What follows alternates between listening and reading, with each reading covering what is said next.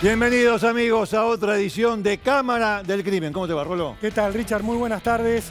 Un gusto estar acá, aun cuando lo que tengamos que tratar es un tema muy difícil, muy duro, que nos toca a todos y que tiene que ver con la inseguridad. Vamos a estar hablando de lo que ha vuelto a ponerse en el centro de la escena. ¿Por qué? Porque asesinaron a Uma, esta nenita de nueve años, en Lomas de Zamora. Vamos a estar dándoles todos los detalles de la investigación, pero también les vamos a estar contando de otros casos de chicos asesinados en episodios de inseguridad. Vamos a hablar de un caso emblemático de la inseguridad en Rosario, el crimen del arquitecto Joaquín Pérez, que está impune desde hace tiempo, para dar una idea de que esto no es solo un tema del conurbano. Pero también vamos a hablar, Richard, de lo que pasa cuando la justicia detiene a los asesinos de una persona, en este caso de Lara Fernández, de una nena de 17 años, cuando uno de esos asesinos es menor. ¿A qué lugar va a parar y qué ocurre después? Porque hoy les vamos a hablar de un asesino de 15 años que ya se escapó dos veces de un centro de detención de menores, lo cual hace que el crimen de Lara Fernández, de esta chiquita de 17 años, que ya les vamos a recordar, esté otra vez impune y que haya una madre con la cual vamos a estar hablando que esté preocupada, otra vez pendiente de si la justicia le da una respuesta. Exacto, exacto. La, cuestión es, ¿hay casos de inseguridad? Sí, claro, obviamente que hay casos de inseguridad. Pero si a eso se le agrega malas investigaciones, em, equivocaciones, errores, bueno, es un tema de nunca acabar. Hay muchas razones por las cuales estamos viviendo este clima o esta situación, mejor dicho, más que clima, situación de inseguridad. Pero si se le agrega el mal actuar de los investigadores, se, si se complica a un punto en que casi uno no ve la salida. El caso de Lara eh, tiene que ver con ella, por supuesto, una nena de 17 años, y también tiene que ver con, como dijo Rolando, con un pibe, un pibe que mató, que se tiroteó con la policía, que se fuga, que es indomable, que... ¿Dónde está ese pibe? Ese pibe no se sabe dónde está porque es menor de edad. Entonces tiene ciertas facilidades. Vamos a hablar de eso y obviamente tenemos el desarmadero.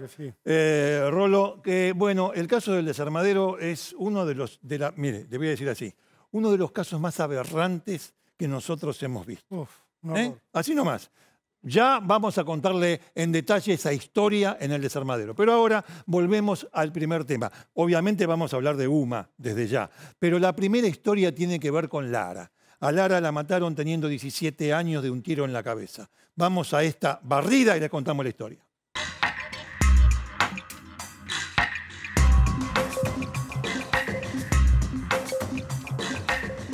Richard, eh, nos tenemos que ubicar en Lomas de Zamora, no es casualidad, elegimos hablar de un caso de Loma de Zamora porque ahora el crimen de Uma, el que conmueve a toda la Argentina, también ocurrió en Lomas de Zamora. La historia que les vamos a contar tiene que ver con Lara Fernández, una chiquita de 17 años, llena de vida, llena de proyectos, que iba a empezar en 2022 el secundario, el último año del secundario. Iba de a partir de ahí encarar lo que iba a ser ya su vida profesional. Vamos a estar hablando con la mamá de Lara. La mamá de Lara es policía, trabaja en la policía de la ciudad. Y por eso a la mamá de Lara le tocó estar de servicio en el año nuevo de 2022, la noche del 31 de diciembre al primero de enero. Primero de enero de 2022. Laura, la mujer policía, trabajando en Capital.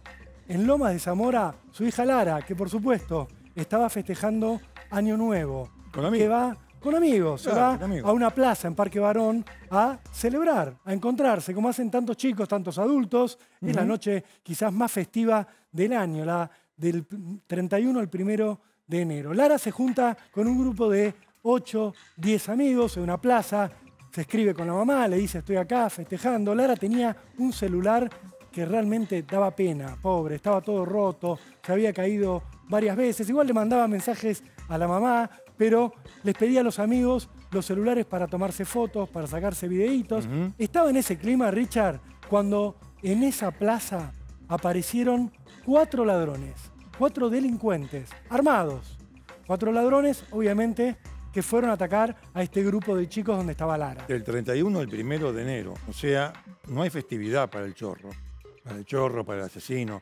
No hay festividad. Salen y salen. Porque a- a- al final de cuentas, ¿sabes que me convencí? Esta gente tiene este trabajo. Sí. Trabaja de esto. Bueno, y aparecen ahí en donde, donde estaban este grupo de amigos este, eh, festejando el, el- el primero de enero. Se aparecen ahí estos cuatro tipos, armados. Ya estaba amaneciendo, Lara estaba distraída con los amigos cuando siente que la agarran de atrás, alguien. Hace un gesto lógico y Mm. dice, no me toques. Le dice a alguien que claramente era un desconocido. Ella no entendía qué estaba pasando. Lo que estaba pasando era un robo. A Lara le pegan un culatazo en la cabeza y le pegan un tiro. Le pegan un tiro en la cabeza. Lara cae en el lugar, ni siquiera le roban el celular. Los ladrones escapan. Un caso conmocionante, el crimen de una nenita de 17 años en Año Nuevo.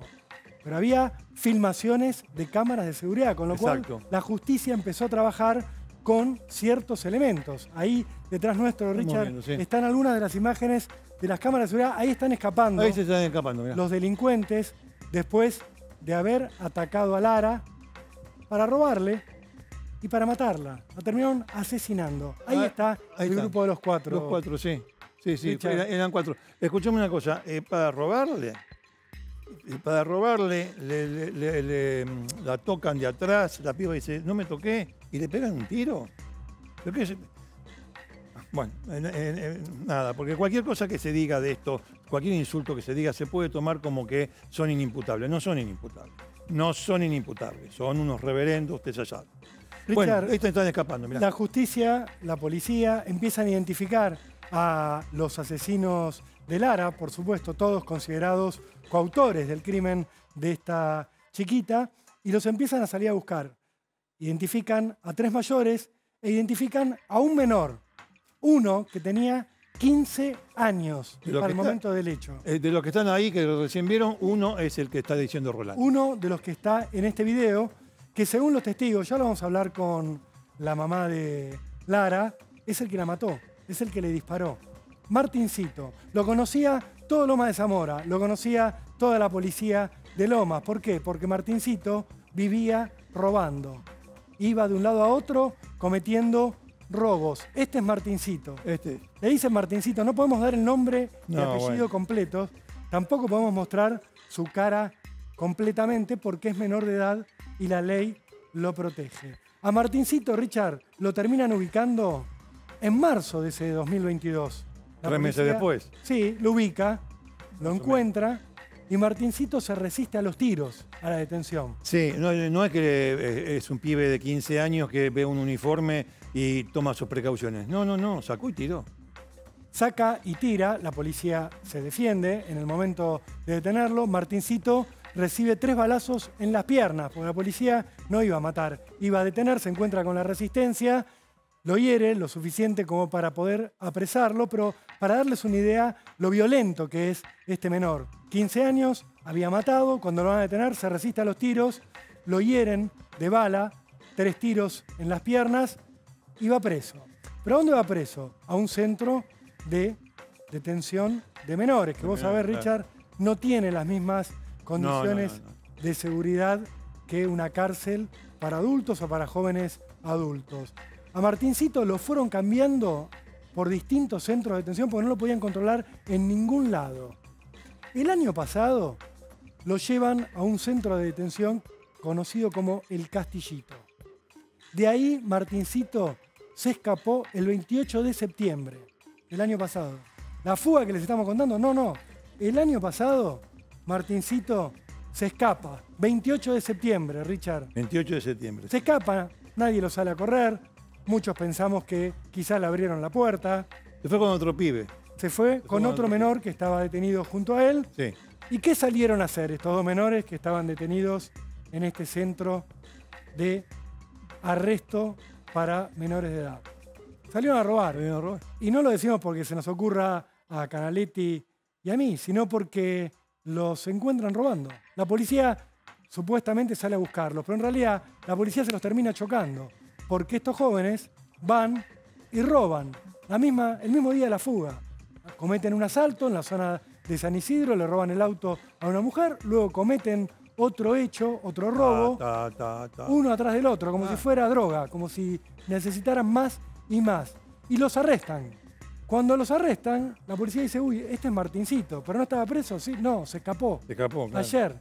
Bueno, con estos antecedentes, uno imagina cuando lo vuelven a llevar a un centro de detención, lo mandan a un centro de detención de máxima seguridad. Sí, sí, por lo menos, con más seguridad. Sí. No, así fue, ¿no? No, no fue así.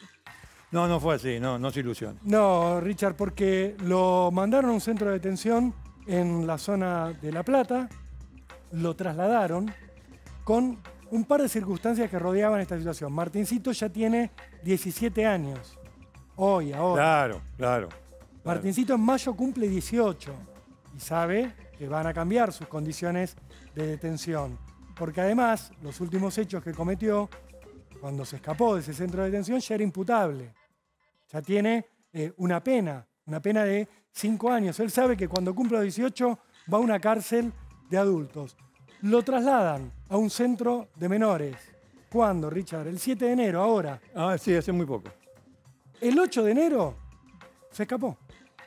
Martincito está prófugo en este momento, ha vuelto a la calle, otra vez se ha escapado.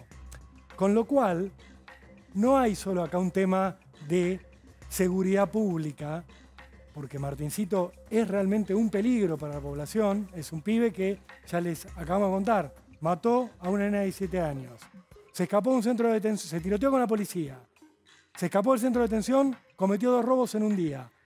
Lo trasladan ahora a un centro de detención supuestamente más seguro que aquel en el que estaba y se escapa otra vez. Se escapa, lo que se sabe que va a buscar a la novia y desaparece. ¿Qué puede estar haciendo ahora? Lo sabemos todos, pero digo, no solamente es un riesgo para la seguridad pública, sino que además enfrenta a una madre que perdió a su hija, a Laura, la mamá de Lara Fernández, la mujer policía, que en Año Nuevo de 2022 perdió a su hijita, a una de sus hijas, otra vez a varias situaciones. Una, el caso sigue abierto, vuelve a estar abierto. Otra vez tiene que estar atrás de la policía, del fiscal, del juez, para que hagan operativos, para que lo busquen a Martincito. Otra vez tiene que estar pendiente de si lo arrestan, si no lo arrestan, mientras ella ya estaba esperando que haya un juicio por el crimen de Lara. Y otra vez, obviamente, y esto lo decimos Canetti y yo, otra vez hay un riesgo para ella. Obvio. Porque Obvio. Laura ya habló del tema públicamente. Hoy va a hablar acá en Cámara del Crimen. Y obviamente Martincito ya sabe quién es. Y este Sí. pibe anda suelto. Sí, Y Laura sigue viviendo donde siempre vivió. sí, sí, sí. sí. Digo, hay distintas situaciones que se presentan Pero qué cosa, ante esto, Richard. qué cosa tan curiosa el hecho. Curiosa es una manera de introducir esta comparación que, que se me ocurre que hacer, que me parece oportuna. Ustedes fíjense, si bien la diferencia de edad de las víctimas eh, existe, eh, pero ustedes fíjense, sobre todo con los cuatro eh, asesinos de, Lara, fíjense la similitud con el caso Uma.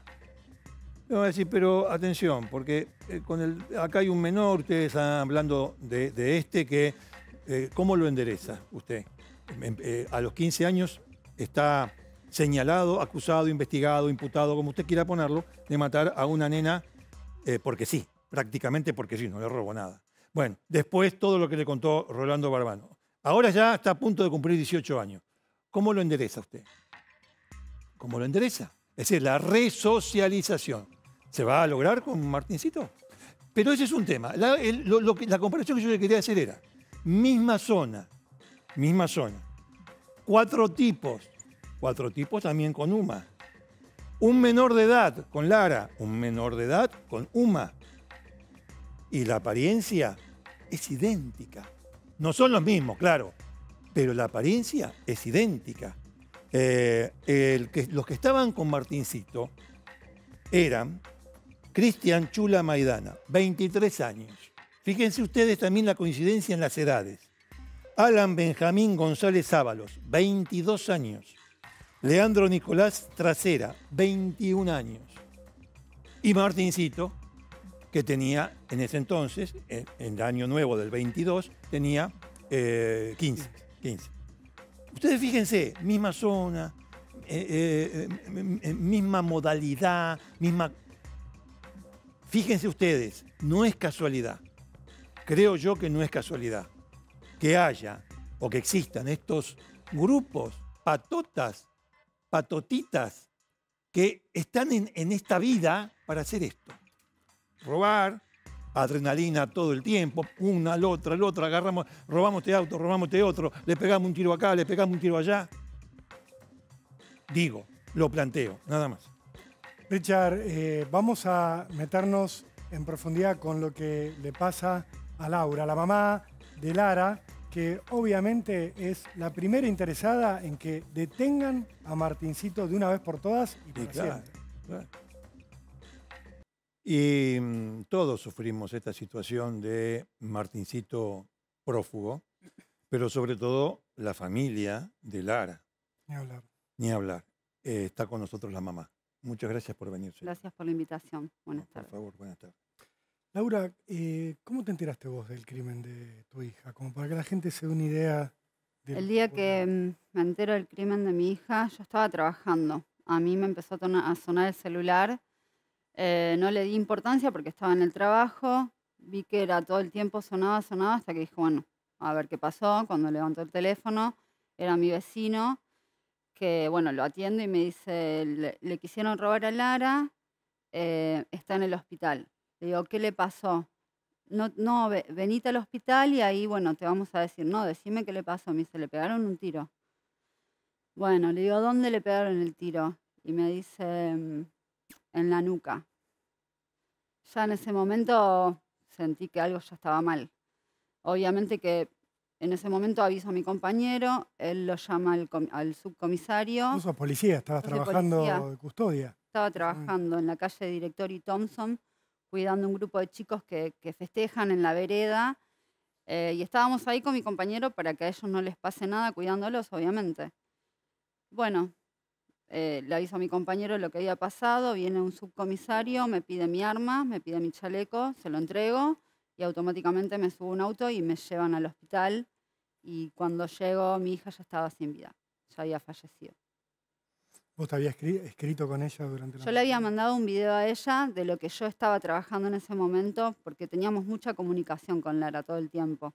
Entonces le hago un videito de lo que yo estaba haciendo en ese momento y veo que a ella no le llega el mensaje. Dije, bueno, se habrá quedado sin batería, como solía pasar, porque tenía un teléfono que no valía ni 5 mil pesos, una sí, porquería sí, era sí. que de hecho no le quería comprar uno nuevo y caro por este tema de que le, lastimen para robárselo. Entonces, bueno, le dejé ese, si era para comunicarnos. Y bueno, ella ese día, yo llego, llego, al, llego al, al hospital, ella ya estaba fallecida.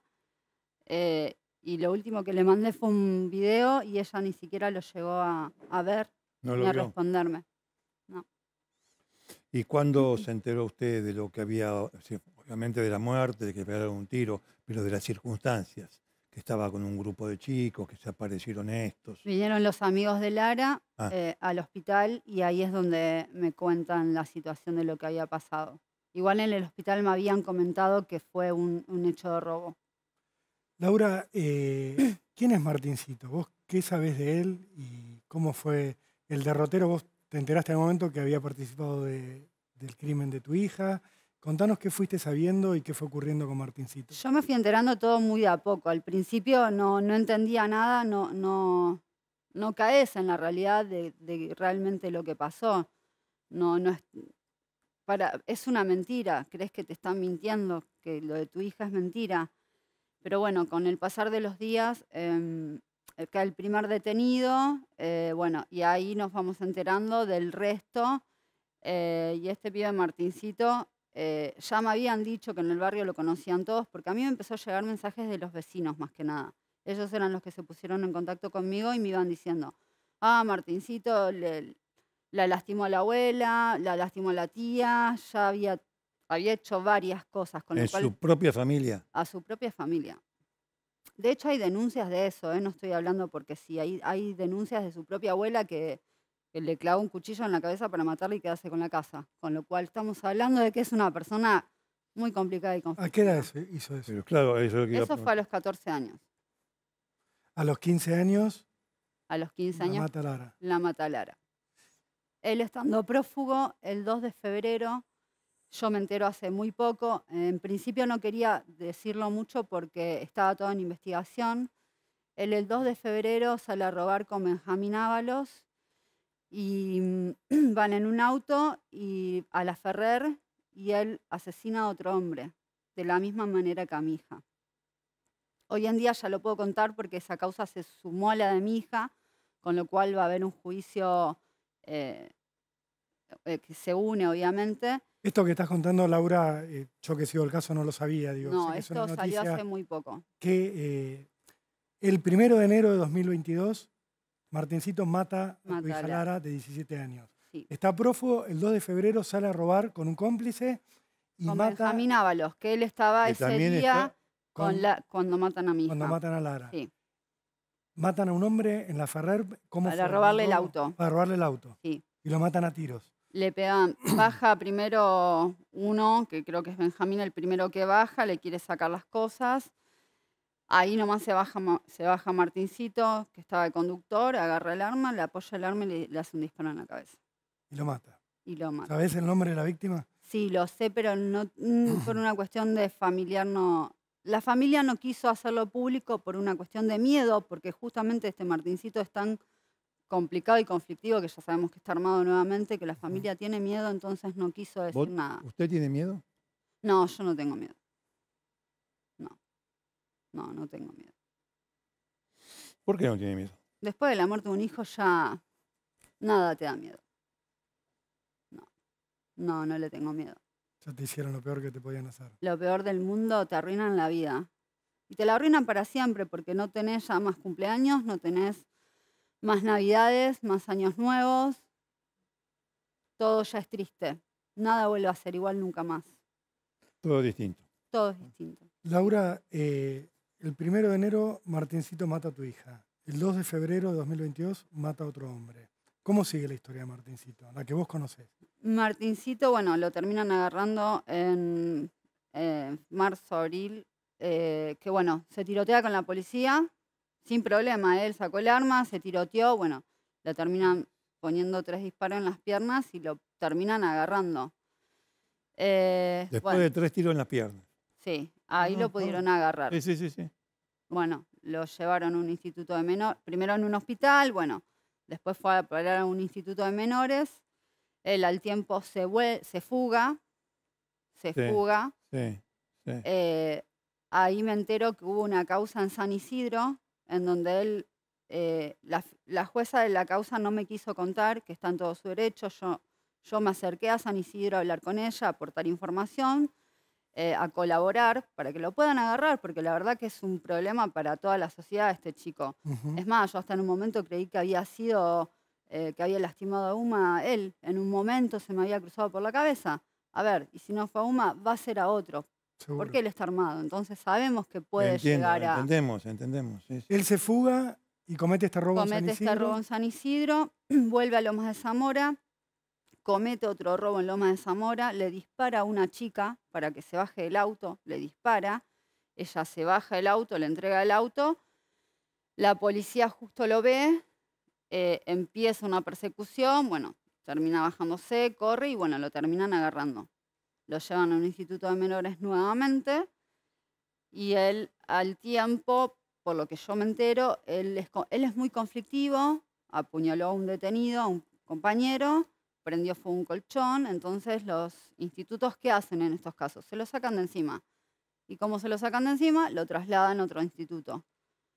Lo trasladan al instituto un viernes y el sábado de la mañana levanta un alambre, un alambrado y se escapa por ahí abajo. Solo tuvo que levantar este asesino que mató a dos personas, que intentó matar a otra y que no sabemos cuántos crímenes más tienen su haber, con levantar un alambrado otra vez en la calle. Esto fue en el Castillito. No, esto fue en el centro Legarra. no, en el Legarra. Ah, el Legarra. El Legarra. Claro, en el centro Legarra se fuga ahora, el 8 de enero. Este el 8 de enero, sí. Digo, marcamos la fecha porque es muy reciente. Sí, sí, sí, la gente que estamos contando una historia que está transcurriendo ahora. Ahora. El 8 de enero, este mismo mes, él se escapa levantando una alambrada. O sea, seguridad cero había en ese lugar. Seguridad cero. Nadie sabía que era este semejante asesino. Tenía. Parece que no. Tiene 17 años ya, Martín. Ahora tiene 17 años. Él estaba cumpliendo una condena porque se llevó un juicio abreviado en la cual le habían dado 5 años. Ya había cumplido 2, con lo cual le quedaban solamente 3. A los 18 lo trasladaron a un instituto intermedio, que era ahora eh, en mayo. Pero bueno, se escapó. Ahora se escapó. Sí. Eh, eh, Cristian Chula Maidana, ¿está preso? Está preso. Alan Benjamín González Ábalos, que usted lo nom- nombró antes, con el que fue a matar a, otra, a, otra, a un hombre. A un hombre. ¿Está preso? Está preso. Leandro Nicolás Trasera, ¿está preso? está preso, pero con él eh, habíamos tenido un tema. eh, él había caído preso en mayo del año pasado y Sí. había dado otro nombre y otro apellido cuando cayó detenido. Ajá.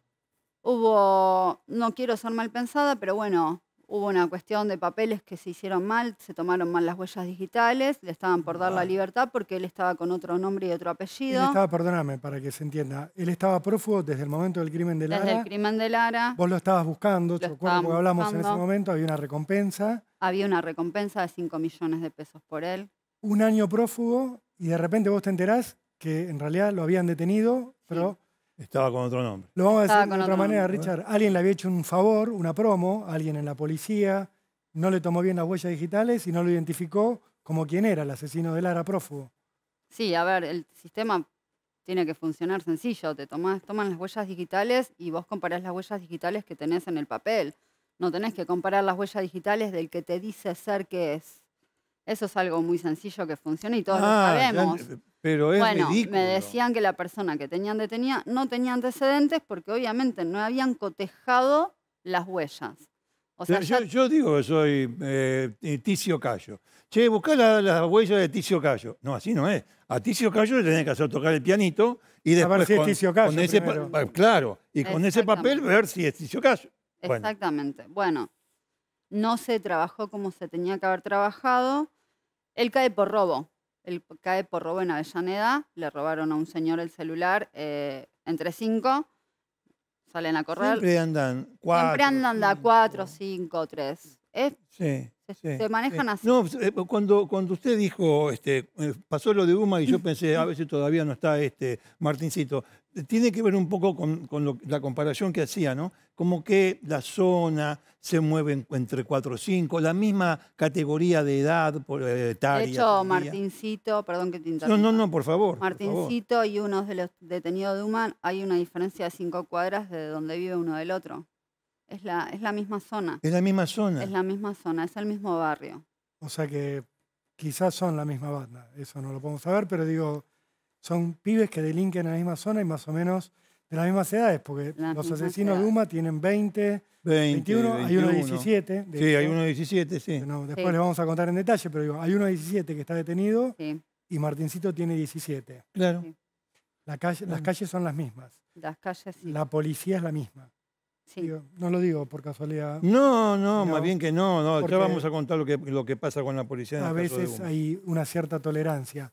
A Martincito, que es un peligro para todos, porque Para, hoy en día, para cualquiera que está en la calle que se lo cruce, te Sí. va a matar por un celular, por el auto, por la moto, por lo que sea. Pero aparte uno puede inferir que Martincito no se va a entregar, porque No, no. Martincito tiene dos homicidios encima, tiene una condena por terminar de cumplir. Si lo agarran en la calle, él sabe la que se le viene. Está jugado Martincito. Está jugado. Y lo dejaron ir. O sea, la verdad, del centro Legarra lo dejaron ir. Alguien. Eh, mirá, si vos te vas escapar levantando apenas una- un ala- un alambre, un alambrado, Sí. y la verdad. Y otra de las cosas que quiero hacer mención es que ellos adentro de los institutos tienen celulares, con lo cual es muy sencillo. Mira, mañana a la mañana me escapo, pasamos a buscar, porque irse de La Plata hasta Lomas de Zamora en colectivo, en tren, no creo que se haya ido. Entonces creo que ¿Cómo tiene también celulares, Laura? Perdóname. adentro de la cárcel tienen celular. Sí, en las cárceles sí, pero en los centros de menores también. también. Sí. La excusa había sido la pandemia. Bueno, eso finalizó, pero ellos siguen teniendo teléfonos. Y Martincito estaba ahí con su Martincito tiene teléfono. teléfonos, tiene redes sociales, Benjamín Ábalos tiene celular, todos, todos. Los cuatro tienen celular. Los cuatro asesinos de Lara. Los cuatro asesinos Bueno, de Lara, tenemos más todos los asesinos de otras personas también, porque estamos hablando que no simplemente ellos. Todos tienen celular en la cárcel. Entonces, sencillo, mañana me escapo, pasamos a buscar y ya está, ya está. Tiene alguien que lo pasa a buscar, ya sabe, ya tiene arma. Eh, está todo preparado. está todo preparado, pero porque está todo preparado, pero porque también nadie se ocupa de que eso no suceda. No, Entonces, obviamente. ¿Vos lo hablaste con alguien esto, Laura? Digo, ¿pudiste habla- hablar con un juez de menores, con el que tenía cargo a Martincito, decirle, Claro. "Che, Sí, fíjense con- dónde- sí, ¿De quién sí, dependen con- estos centros con de el menores? doctor Colazo, el fiscal de menores de Lomas de Ajá. Zamora, fui, uno- fui a hablar con él. Y también estuve hablando con la, la jueza, que ahora no recuerdo bien el nombre, que está en San Isidro, que estaba a cargo del, de- del De la último hecho, claro, que de hecho ella lo tiene en este momento a cargo, la aprehensión de él la tiene a cargo ella. Ella supuestamente lo está buscando, a Martincito. Habrá dado una instrucción a la policía, búsquenlo, se supone. Yo fui en modo colaborativo. A ver, toda la información me llega a mí, los vecinos, todo me llega a mí, no le va a llegar a ella. Entonces, la idea de ir y charlar con ella, Colaborar. que en un principio no me quería atender, después cuando, bueno, le dije quién era y que iba en colaboración, bueno, me, me termina atendiendo, eh, bueno, se dio cuenta que era para colaborar, no era para pedir información de lo que había, del hecho que había sucedido ahí. La verdad que no, no, mientras la persona esté bien, no, no quiero saber más, pero fui en colaboración, bueno, ahí hablé con ella, eh, todos los datos que a mí me llegan, eh, se está trabajando, no digo que no. ¿Lo están pero- buscando efectivamente Martincito? Sí, lo que pasa es que todos los días tenemos muchísimos casos, entonces es como que estás buscando a este que está prófugo, pero tenés un hecho de, de UMA, de la señora que ahora pasó anoche, Sí, entonces en el auto, sí. todos de- los días tenés un hecho, un homicidio por un robo. La policía tampoco da abasto, no da, no da abasto, no se da abasto. No estoy seguro que. Y mucho caso- menos, perdón, Richard. Sí, no, interrumpo, no, pero decime, decime. Mucho menos cuando la policía va, agarra a un delincuente, se lo entrega al Estado para que lo tenga bajo resguardo y el Estado lo pone en un lugar donde puede escaparse ¿sabe? levantando un alambrado. Levantando o sea, un alambrado y se al va. policía que le está diciendo, che, no laburé mucho, porque la No verdad... es el único que se escapó tampoco, porque ya sabíamos que en el año se habían escapado varios. Entonces, si vos ya tenés chicos que se están escapando, ¿por qué no haces algo para que no se sigan escapando? Evidentemente es más fácil que se vayan y bueno, Sí, estamos hablando de chicos asesinos, digo, le decimos chicos por Así- la edad, pero Sí, Sí, bueno, claro. bueno. Y- eh, Sí. tipos que matan. Eh, Martincito, ¿tenía alguna medida de seguridad especial recomendada por la justicia? ¿Alguien había advertido sobre la posibilidad de que se fugara o No. nadie se calentó por eso? no, no tenía absolutamente nada. en el Entró montón como, de pibes con, eh, con causas penales era uno más. es uno más. Ellos entran ahí con uno más. Como uno más. No, no. Y encima ahora hay un problema extra, porque ahora le estamos contando a la gente la historia de Martincito, que mató. ¿Nos puedes marcar cuál es Martincito de ese video, Laura? Porque Mm. ahora lo vamos a volver a Ahora pasar. lo pasamos de nuevo. ¿Quién Están cree? caminando los cuatro. Por- Ah, bien. Porque el- te lo pregunto porque la verdad que a nosotros nunca nos quedó claro por una cuestión que es la que quería plantear. Le Ahí, de esos cuatro. le estamos contando a la gente que hay un asesino suelto. Le estamos contando a la gente que, cuidado, que puede atacar a cualquiera. Pero no podemos dar su nombre, no podemos mostrar su foto.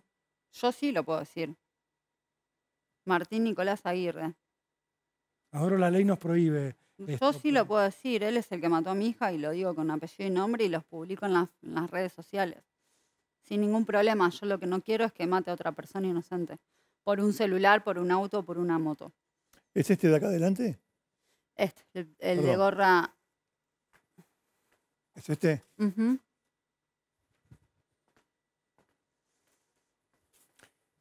Digo, para que tenga cuidado la gente, porque ni siquiera podemos dar eso. O sea, tampoco se está, se está ofreciendo recompensa por Martincito o como es No, tampoco. No hay recompensa, no hay nada. Bien, O sea que es tu lucha y la difusión que podemos Es mi lucha y lo que tengan ganas de trabajar en la justicia. Claro. Eh, Eh, debería ser prioridad esto para. Debería ser prioridad, pero no lo es. Todos los años, como lo dijo la señora, no es solamente el- durante ese año se escaparon pibes. Todos los años se escapan pibes de los institutos de menores. Sí. Tengan un, un hurto simple o tengan dos homicidios. Se escapan. Eh, No hay, no hay, no hay medida de seguridad. ¿Qué medida de seguridad va, va- va a poner? Eh, ¿Una mazmorra? ¿El látigo? No, no, no, no se trata, no se, no se habla de eso. Se habla de medidas de seguridad. Que no se escapen. que no se escapen, es eh, evitar que se vayan o que se escapen, eh, que es lo que no ocurre. Eh, yo estoy convencido que mucha gente ahora estar haciendo esas comparaciones. Insisto con la comparación porque para mí es muy llamativo, sobre todo por lo que acaba de decir usted, que entre Martincito y uno de los detenidos, o de los involucrados, en el caso de Uma hay cinco cuadras de distancia entre la casa Cinco cuadras de distancia, disparan en la cabeza, padres policías. Y además, cómo se mueven. Vos fijate, si después, cuando, cuando hagamos eh, o contemos el tema de Uma, también vamos a ver a los asesinos de Uma caminando por la calle. Es muy parecido a esto. ¿eh? Uma, como dice Laura, Uma, hija de policías, Lara, hija de policía. Uma, hija de policía, Lara, hija en la nuca, las dos. Un tiro en la nuca a las dos. Sí, eh, sí, es así. Em, su familia está compuesta por, además de Lara, lamentablemente. Eh, mi, hija más chiquita de 11 años y mi marido, que también es personal policial. Y tiene una hija más. Sí. ¿Y tu hija cómo está? Y ella, los chicos lo, lo viven de otra manera, es diferente. Duerme en su cama, ella duerme en la cama de Lara, usa la ropa de Lara, así que con eso ya te estoy diciendo todo. No me habla a mí, no me lo comenta porque sabe que es un tema que a mí me pone mal pero, pero sí la extraña a su manera. Y sí, no, para menos. Es la hermanita mayor que, que falta y ahora es esta situación de no tener justicia y tener un asesino suelto. ¿Vos tenés preocupación por ella? lo digo pensando en si deberíamos también resaltar que haría falta algún tipo de custodia. ¿Tu hija eh, sería normal? ¿A vos te preocupa que Martincito pueda meterse con, otra vez con tu familia? No, no, no. No, no. No creo que, venga, no creo que lo haga. Sabe que soy personal policial, es como meterse en la boca del lobo, ¿no? Pero bueno, igual a ver, todo puede pasar. Puede que me cruce en cualquier lado de Lomas, yo soy de Lomas, entonces, si bien no vivimos muy cerca, pero yo me muevo por Lomas de Zamora, con lo cual me lo puedo llegar a cruzar. Martincito, eh, ¿qué, entorno familiar tiene? ¿Hay drogas en ese entorno? ¿Él es consumidor? Bueno, quiso matar a la, abuela, ¿no? Sí, pero digo, ¿cómo, es? Te lo pregunto por esto. El otro día hablaba con Javier Alonso, con el ministro de Seguridad, y decía, no, todo es culpa del narcotráfico. Lo que le está pasando a la provincia de Buenos Aires, todo es culpa del narcotráfico.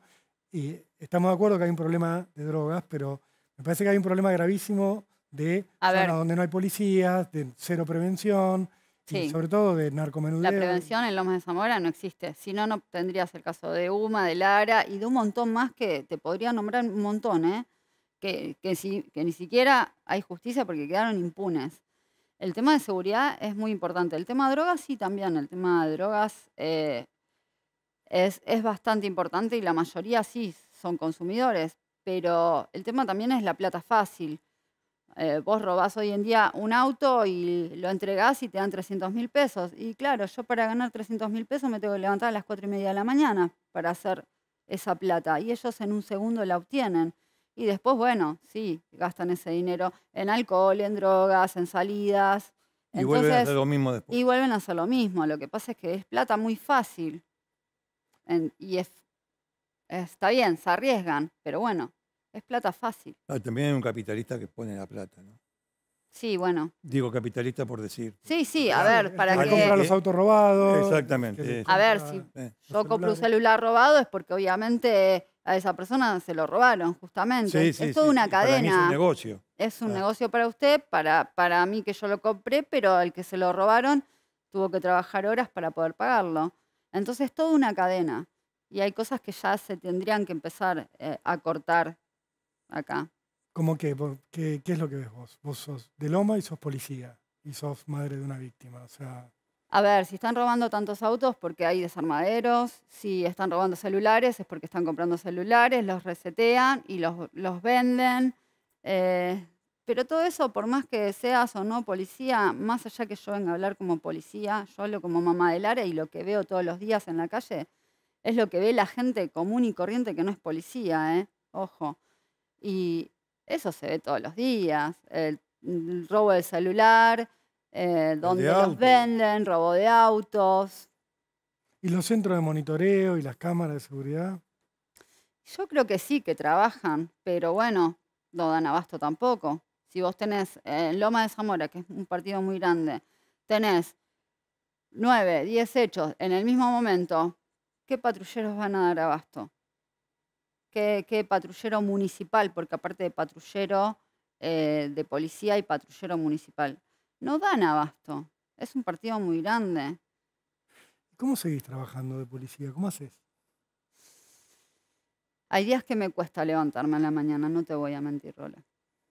Pero bueno, a Lara le prometí que esto no iba a quedar impune, que se iba a hacer justicia, más allá de que Martín en ese momento tenía 15 años y es inimputable, todos lo sabemos, pero yo a Lara le prometí que iba a hacer justicia. Y eso es algo que, que yo no, no puedo decaer en mi palabra porque yo tengo otra hija y ella también tiene que ver que la justicia me apoya y que bueno, que eso hay que lograrlo. Entonces a veces cuesta levantarse, pero hay que seguir adelante. Por eso también hoy estoy acá, porque si bien mi hija no va a tener, eh, él no va a tener una condena por haber matado a mi hija, yo estoy acá para que la gente sepa lo que él es y que puede matar a cualquier persona.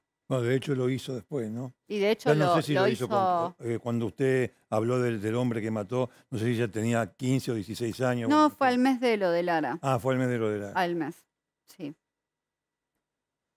Y estoy acá justamente para eso, porque yo no quiero que otra familia la arruine exactamente como arruinó la mía. Es muy triste. ¿Su marido cómo lo soporta? Y él es el que me, ay- me ayuda y me empuja y está ahí atrás mío y bueno, es, se ocupa de muchas cosas que yo por ahí en ese momento no puedo, entonces él está ahí y Mm. es un buen compañero, gracias a Dios. Laura, y cuando viste la noticia de Uma, más allá de lo que después pensaste sobre Martincito, pero cuando te enteraste, mataron a la hija de unos policías en Lomas en un robo, ¿qué pensaste? ¿Qué sentiste?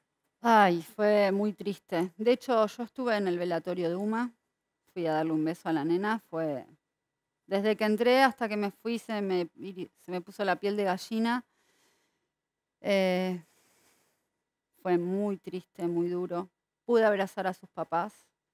Ellos ni saben quién soy yo. Yo me quería acercar y ver a Uma ahí, si bien no eran la, misma edad, eh, fue revivir todo lo mismo que viví con Lara. Fue exactamente igual. Ese dolor que sentí yo acá sabía que era el dolor que estaban sintiendo los papás de, de Uma y toda la familia que estaba ahí. Y fue muy triste cuando me enteré de la noticia. De hecho, me, me puse a llorar y, y te preguntas, ¿por qué otra vez? Porque, ¿por qué otra vez? Y bueno, el Estado tendría que responder eso, ¿no? Tendría que empezar a hacer cosas para que no siga pasando todo esto. Sí, porque cada vez que vemos un caso como el de tu hija decimos que sea el último. Y Que vos como mamá último. también querías que fuera el último. Sí. Y, Y Sí. no, y no pasa. no. Y no, ese es Y el- hoy, y hoy hay ya otro caso, de- el de la noche, el de la señora. Lucrecia, en Morón. Mañana seguramente tengamos otro, pasado tengamos otro. Y así no se puede vivir más. Así no se puede vivir más. No se puede. No puedes salir a comprar, no puedes salir a ningún lado porque te, te matan por un auto, por un teléfono, por O una por moto nada. eh, o por nada. o por nada, porque ha- hay un, un, eh, para la- el público que tal vez no lo tenga, cuando la señora habla de eh, la, la- la mujer que mataron en un, le querían robar el auto, la señora, le dispararon porque la señora se demoró porque, para sacarse el cinturón de seguridad. Para sacarse el cinturón se demoró un poco y le pegaron un tiro. Delante de la hija. Delante de la hija, la hija estaba con ella, claro. Mm. Bueno, en definitiva, este, es igual, sea por el auto, sea por lo- o porque o porque te demoraste un segundo. Eh, Realmente. Bueno, o se, porque no se sí. puede estar así. Digo, a Lara la matan porque sí. Bueno, a Lara la matan, sí, Y a Uma claro, la matan claro. porque sí. A Uma le tiran cuando se está yendo. Sí, o sea, ya no podían sí, no, no, robar. está- está- está como si impartieran un castigo. Si esta gente tuviera la potestad de impartir castigos sin ley Sí, exactamente. o con su propia ley. Bueno, no te puedo robar, entonces te voy a efectuar un disparo. Y bueno, si te mato, te mato. O sea, estamos viviendo así. Es como que eh, estos eh, pibes, no, no, no todos los pibes, estos pibes tienen un bajísimo nivel de frustración. Ay, no te puedo robar, te tiro, Te tiro un tiro y te mato. Pero, No me ¿en importa. qué- ¿En qué cabeza cabe? Bueno, ya sabemos en qué cabeza cabe. Eh, le agradecemos mucho que haya venido. Gracias a ustedes por la invitación. No, por favor. Y Ricardo. vam- vamos a seguir con, con este caso, que seguramente para muchos es Uy, mira, no lo conocía. Porque, como también dijo usted, lamentablemente vivimos en un país donde un caso tapa al otro y tapa al otro y tapa al otro y tapa al otro. Pero está, existen, lo conocemos y lo ponemos a disposición del público y lo vamos a seguir.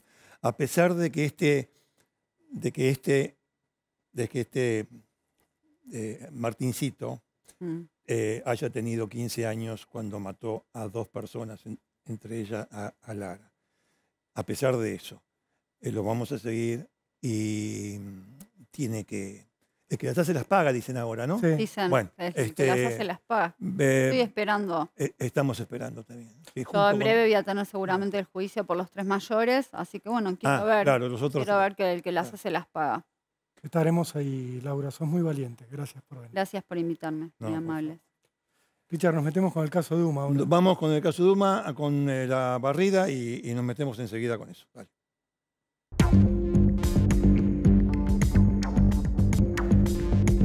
Bueno, lo habíamos adelantado, ¿no? Vamos a, ahora a hablar del caso de Uma.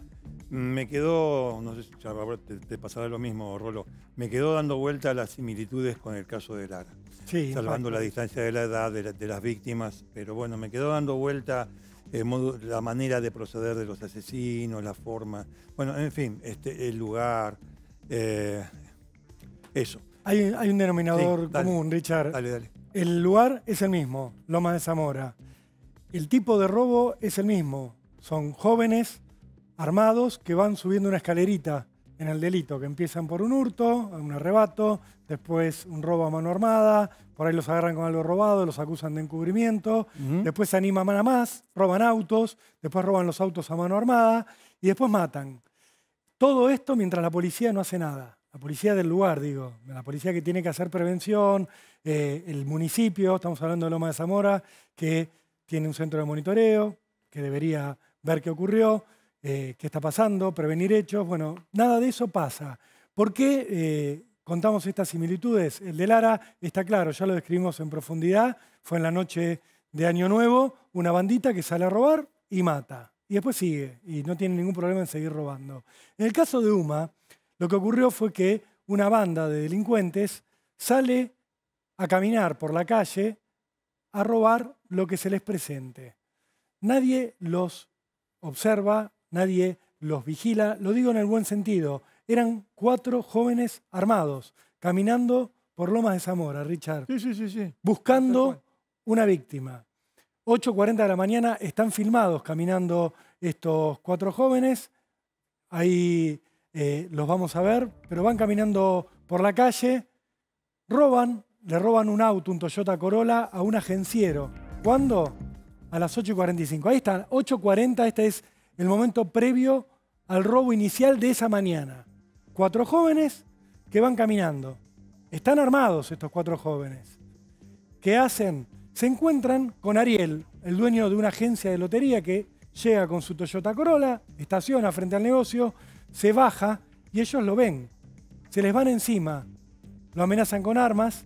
Ariel intenta una resistencia en un momento, Richard, el dueño del Sí, Toyota sí. Corolla, Dame todo, dame todo, dame todo, dame la llave. le sacan la llave del auto, él les da la llave del auto porque ve el arma, se trata de parar adelante del coche para que no se lo lleven, un acto reflejo, Sí, y le disparan. Y le dispara. Por lo menos dos tiros. Esto lo contó Ariel. Por lo menos dos tiros. Hago hincapié en los dos tiros porque fue a las 8.45 de la mañana. Dispararon dos tiros a un hombre al que le acaban de robar y ningún policía lo escuchó. No fue un robo silencioso el del Toyota Corolla. No, no, no, no, no. no. Dos tiros. Gritos, Gritos. forcejeos. A Ariel le tiran a dos matar. tiros, le tira, eh, bueno, ahí está. Eh, dos tiros. Uno dicen que fue al aire y el otro hacia el eh, Claro. dueño del auto. Ariel dice, en el momento yo no me di cuenta Claro, exactamente. que me tiraban a Sí. mí. Pero fue un vecino que vio todo me dijo, no, no, el que estaba en, en- en tu auto, en el asiento de acompañante, te tiró a vos. Claro. Porque vos estabas a los gritos tratando de evitar que te robaran. Es una reacción, si se puso así delante de- del auto para que no se lo llevaran. Una reacción, na- na- na- nadie, nad- nadie puede saber cómo va a reaccionar en ese momento. A- a- Ariel hizo eso. Y la respuesta fue esa, tiros, Tiros. tiros. listo. Bueno, ¿aparecerá la policía? No. No, la policía no apareció. 8.45 le roban al agenciero. Con el Toyota Corolla, ¿qué hacen? Siguen robando, porque era el, la, la cuestión del día. Venían de robar, ¿eh? Venían de robar. Venían, venían de, de, de y hay quien dice que vienen de una gira de 48 horas, Sí, que todavía no se pudo reconstruir. Todavía no se pudo reconstruir, es todo. cierto. Pero esa, en ese Bueno. momento, Dale. caminando, roban el Toyota Corolla, disparan. La policía, bien gracias, los vecinos obviamente alterados por la violación.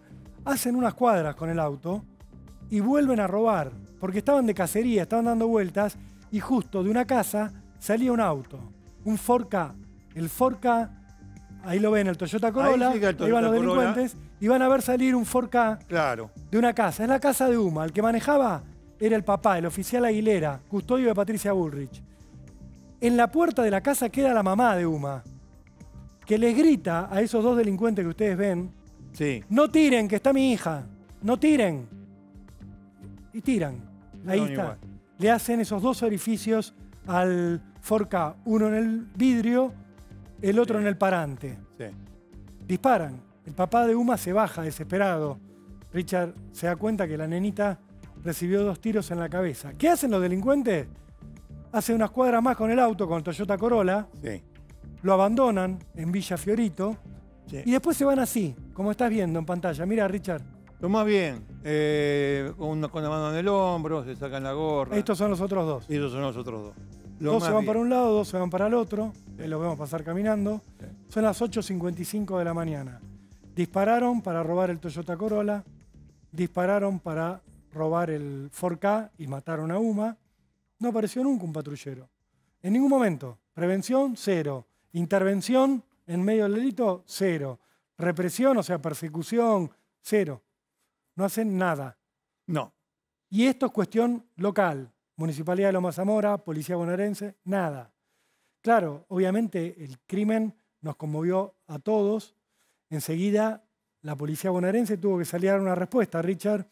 Y el mismo día del crimen, el mismo lunes en el que matan a Uma, la Policía Bonaerense detiene a un joven de 22 años.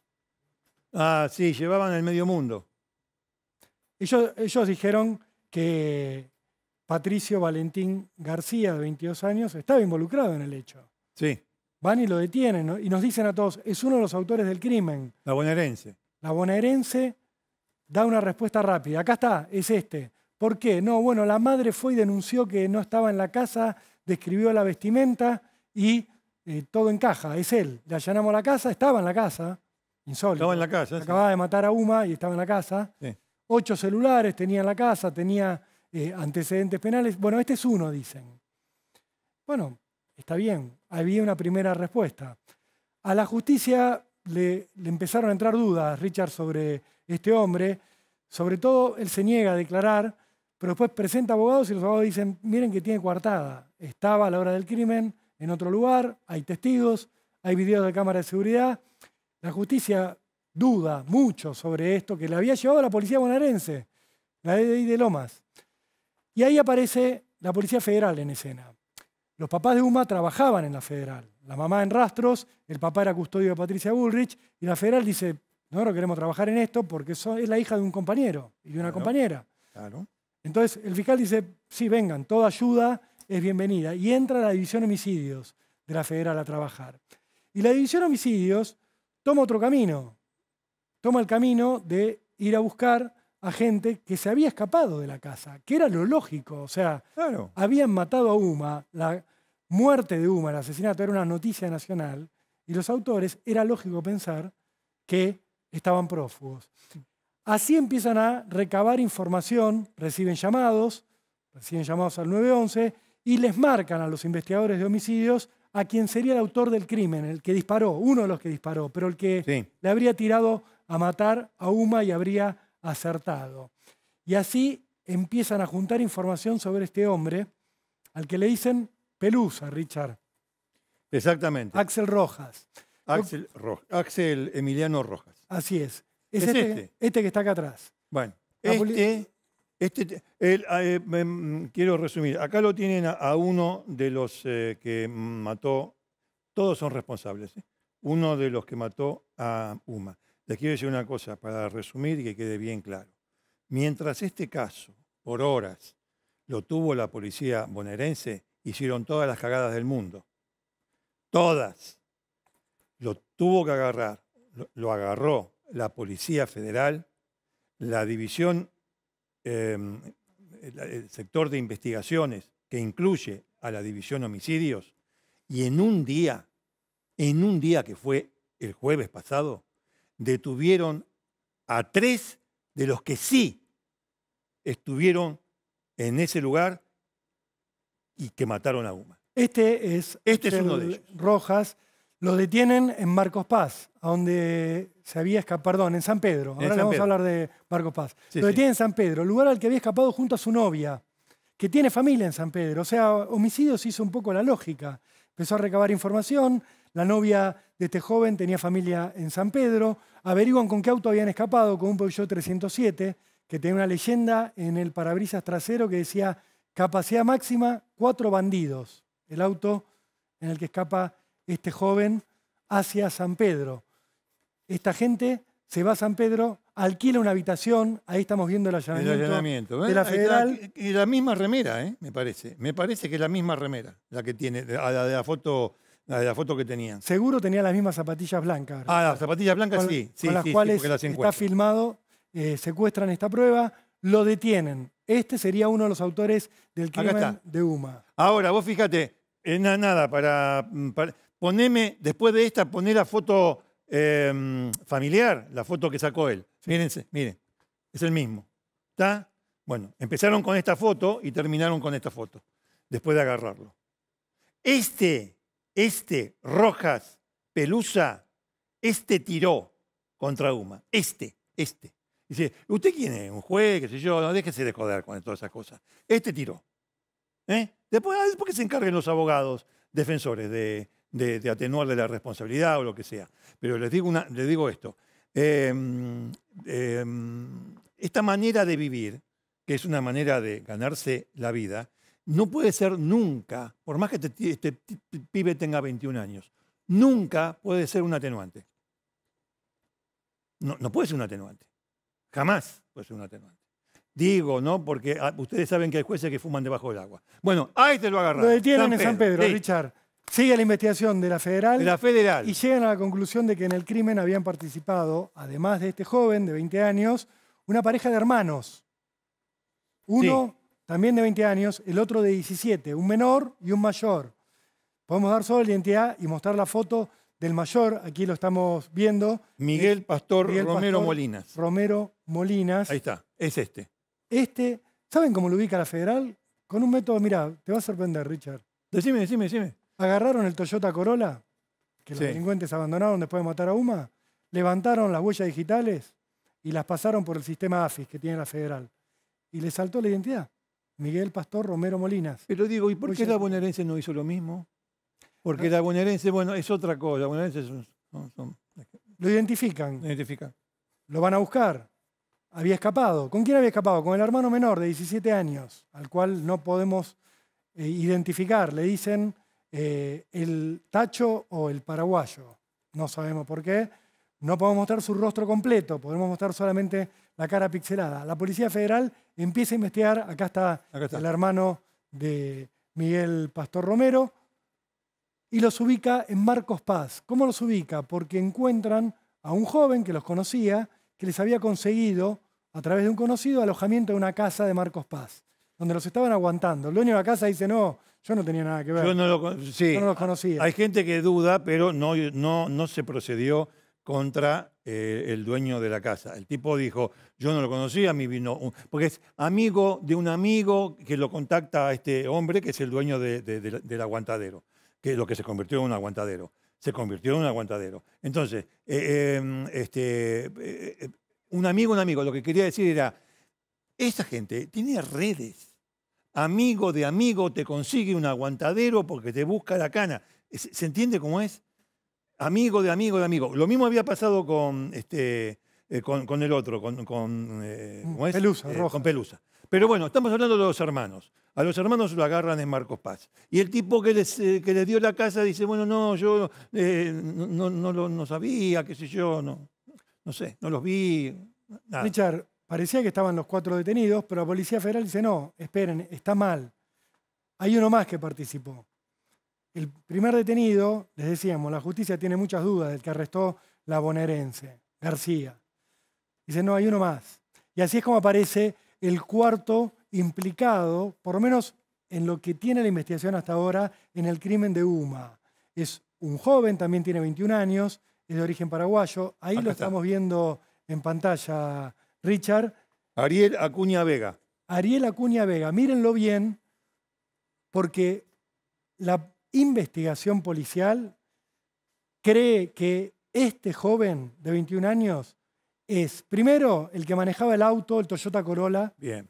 con el cual fueron a matar a Uma. Primer dato, ¿verdad? Sí, sí, sí, sí. Sí, sí, sí. Y el otro dato que dan fuente de la investigación y por el cual pone la lupa en este hombre es que está vinculado con una familia que vende drogas en la zona de Lomas de Zamora. Vende eso- drogas, tiene este, armas, tiene plata, Ese es el tema. tiene plata, tiene dinero. Eh, no se extraña que aparezca un abogado particular. Este, el paraguayo este. Eh, eh, la investigación llegó al punto de mm, ver que estaba por irse a Paraguay. Estos son para los investigadores los cuatro partícipes del crimen de Uma. Esto que les mostramos nosotros aquí, ¿eh? Esto, estos, estos. La bonaerense metió al primero, que parece no tiene nada que ver. Pero estos que hizo la, la federal sí laburó como corresponde. División Homici- Investigaciones de la Policía Federal. Como, como dijimos el sábado pasado, o creo que fue el sábado pasado, somos muy severos con la policía, pero cuando las hacen bien, las hacen bien. Y la federal hizo un buen trabajo deteniendo a los asesinos de UMA. Ahora, la bonaerense, todo lo contrario. Richard, lo que hay que puntualizar acá para eh, cerrar un poco este tema de Uma Aguilera que tanto nos duele, es que estos jóvenes estaban en la calle robando autos para alguien. Ah, sí, claro. No salen a robar al tuntún, salen a robar porque saben que, como decía recién la mamá de Lara, hay alguien, hay alguien que ya está en un eslabón de crimen organizado que les compra los autos robados, en su mayoría para desarmarlos y vender los repuestos. Hay un mercado negro montado. Si ese mercado negro no es atacado, si no se investiga ese crimen organizado, si la bonaerense no se ocupa de desactivar los desarmaderos de autos, vamos a tener más sumas y más laras y muchos más chicos asesinados, muchas más personas. Digo, antes hablábamos del caso de Lucrecia asesinada en Castelar, cuando le quisieron robar una Volkswagen Surán, un auto de clase media, Claro. que no se vende más. Pero claro, los repuestos siguen sirviendo, entonces Sí. los, los ladrones salen y lo buscan. Asaltan a Lucrecia en Castelar, 50 años, le pegan un tiro sentada en el asiento del conductor y se van en otro auto que después abandonan en Fuerte Apache. Porque son gente que vive de esto, de robar autos o robar celulares, que también tiene un mercado negro, ¿sí? para vivir, viven de eso. ¿Qué pasa? Vos podés ir agarrando a los que matan, los vas agarrando después de que matan, después de que cometen un delito grave. Hay que hacerlo, hay que prevenir, pero si no se desactiva el mercado negro, No, va a seguir.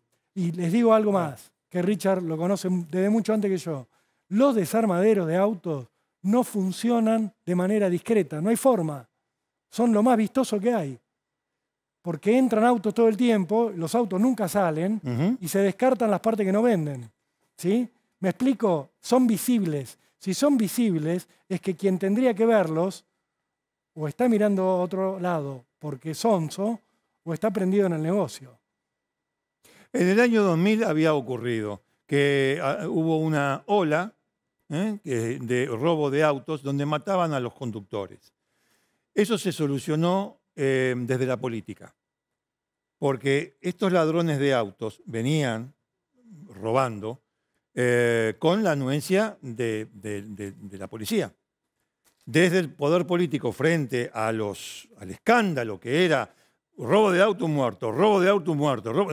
No, no, muchachos, no, esto no va. Entonces baja la línea a la policía, la policía baja la línea a los delincuentes, roben, pero no maten. Eso pasó en el año 2000, en la provincia de Buenos Aires. 2000 en la provincia de Buenos Aires. Eh, ¿Sabe quién era el ministro de, de- de Seguridad? Juan Pablo. Cafiero, sí, Sí. Era, era Cafiero. Bueno, ahora está pasando algo parecido. Ahora está pasando algo parecido. ¿Eh? Entonces, la política debe meterse en esto, debe interesarse por esto. Sí, es evidente que la, la- la policía de la provincia de Buenos Aires, mire, si la policía de no da abasto, es un, a nosotros como ciudadanos, yo, nos interesa tres carajos. Den abasto, hermano. Den abasto. Piensen en otra cosa. pien- Piensen en otro sistema de seguridad. Y acerca de aquello de que salen, roban un auto y lo, y lo- y lo dejan, les quiero decir una cosa. El auto que le robaron a la señora en, en, eh, En Morón, en Morón, Morón, sí, en Morón. No lo podían seguir, tener y entregárselo al desarmadero, porque un auto sucio, tiene una muerte encima. ¿Entiende? En cambio, el auto Toyota que le roban a Ariel, el comerciante, eso lo, ese lo podían seguir teniendo. ¿Pero por qué cambiaron? Cambiaron por un auto de clase media, que es lo que más se, son, son los repuestos que más este, se, se buscan, que es el auto que tenía el policía. ¿Podían seguir con el Toyota? Sí, eran cuatro, por ahí se dividían y se llevaban los dos. Además, estos autos.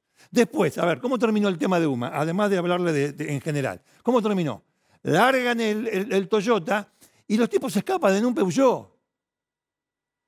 Ahí, a, a- a Ma- a Marcos Paz, si mal no recuerdo, si fue el de Marcos Paz. El San Pedro, San Pedro. Ah, el de San Pedro, mm, discúlpeme, el de San Pedro, se fueron con un Peugeot. Se fue ese Pelusa, se fue con un Peugeot, que era robado. Bueno, entonces, lo largan y además estos coches sirven para cometer otros delitos que pueden ser incluso más graves, como por ejemplo, ir a robar una casa.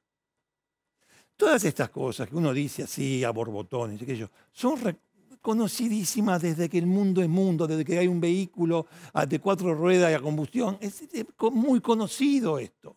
Eh, Antes se hacía con con los caballos. Es conocidísimo. Y sigue ocurriendo. Lo que pasa es que ahora al jinete le pegan un tiro, al conductor le pegan un tiro. Y el bajo nivel de frustración que tienen estos, Sí, cero tolerancia. estas- Cero estos salvajes. Escuchame, hermano, si no pudiste robar, no pudiste robar. Yo sé que no se puede entrar en la mentalidad de esta gente. Acá está, déjamelos. No sé que acá adentro no se puede entrar. Acá adentro no se puede entrar, por, por- por poco tiro todo. Acá adentro no se puede entrar. Ahí adentro no se puede entrar. Y acá tampoco, porque están con, a ver, están, eh, eh, no es una cuestión de nacimiento, es una, es una cuestión de eh, desarrollo, de educación. Eh, están en un mundo completamente diferente al nuestro. ¿Pero de dónde salió ese mundo? ¿Usted conoce la historia argentina? Repásela y se va a dar cuenta cuántos, cuántas civilizaciones hay dentro de la civilización argentina.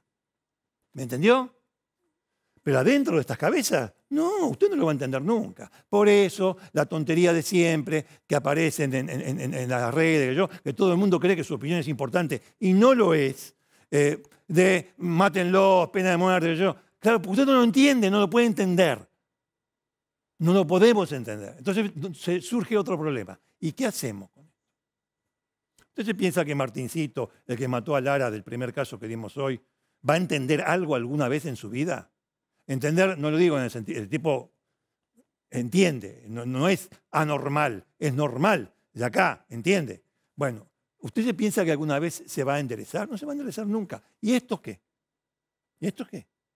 Van a venir ahí a llorar y decir, uy, no queríamos matar a una nena de nueve años. No, no, no, no, no es así.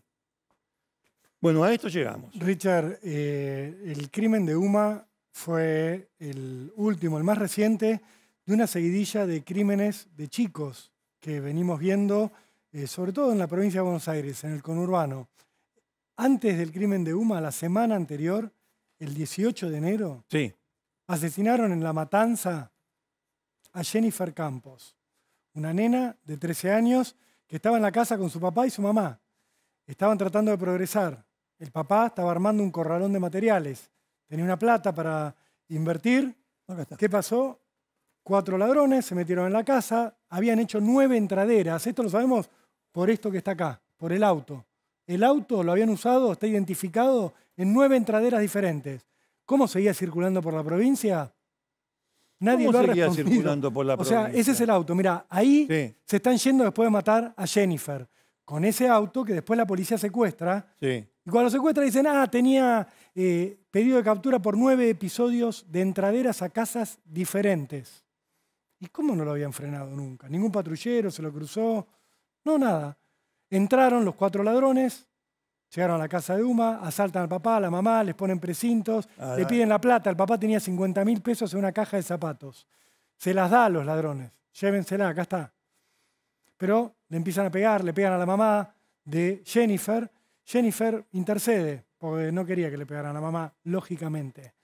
Le pegaron un tiro, un balazo, en su propia casa. La asesinaron. El crimen está impune, no hay nadie detenido. Por No hay nadie detenido. No le- escúcheme, si la gran diferencia es la edad, si a este caso no le dieron bolilla porque la nena tenía 13 años y al de Uma le dieron bolilla porque tenía 9, estamos más que perdidos. ¿eh? No, no le dieron bolilla porque los padres son inmigrantes. No le dieron bolilla porque los padres son inmigrantes. Bueno, Siguiente caso que queríamos eh, destacar, porque es otro de los que nos conmovió en los últimos días, Nicolás Picardi, el 15 de enero, fue asesinado a los 16 años. Él estaba en la laguna de Chascomús con unos amigos, aparecen ladrones, lo corren para robarle la mochila. Él cae al piso, termina de rodillas pidiendo por favor que no lo maten. Le clavan un fierro en el corazón, le atraviesan un pulmón y le tocan el corazón. Lo matan prácticamente en el acto. Los vecinos lo encontraron. Los detenidos tienen 15, 17 y 20 años. El que lo mató, 17, el que lo apuñaló. Y el otro caso, seguramente todos lo recuerdan, fue el de Morena Domínguez. 11 años, la mataron en Lanús, en la puerta a metros de la escuela. ¿Qué pasó con Morena? Quisieron robarle el celular, motochorros. Se le acercaron, la tiraron al piso, Richard, y la patearon en el estómago hasta que la mataron. El 9 de agosto de 2023. Fue en plena campaña electoral. El caso Morena. Algunos dijeron, no, lo están usando políticamente. No, nosotros decíamos, no, hablamos de la inseguridad, que es lo que ustedes deberían responder con las propuestas y con lo que van a hacer cuando empiecen a gobernar. Kisilov en la provincia, Milei en la nación. Bueno, fue el 9 de agosto. Kicillof me suena. Sí, ya era gobernador cuando la mataron a Morena y sigue siendo gobernador, fue reelecto. Lo que quiero decir es, dijimos con Morena nunca más.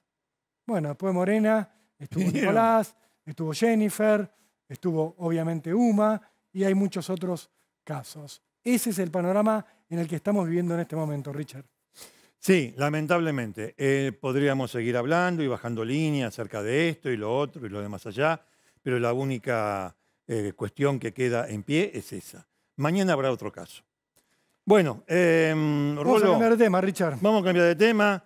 Vamos a, a ver, eh, ¿sabés que es el momento de, no digo distensión, porque es un programa que está en tensión todo el tiempo, Ok. Cámara de Crimen, pero sí podemos poner un poco de música para introducir la historia del día.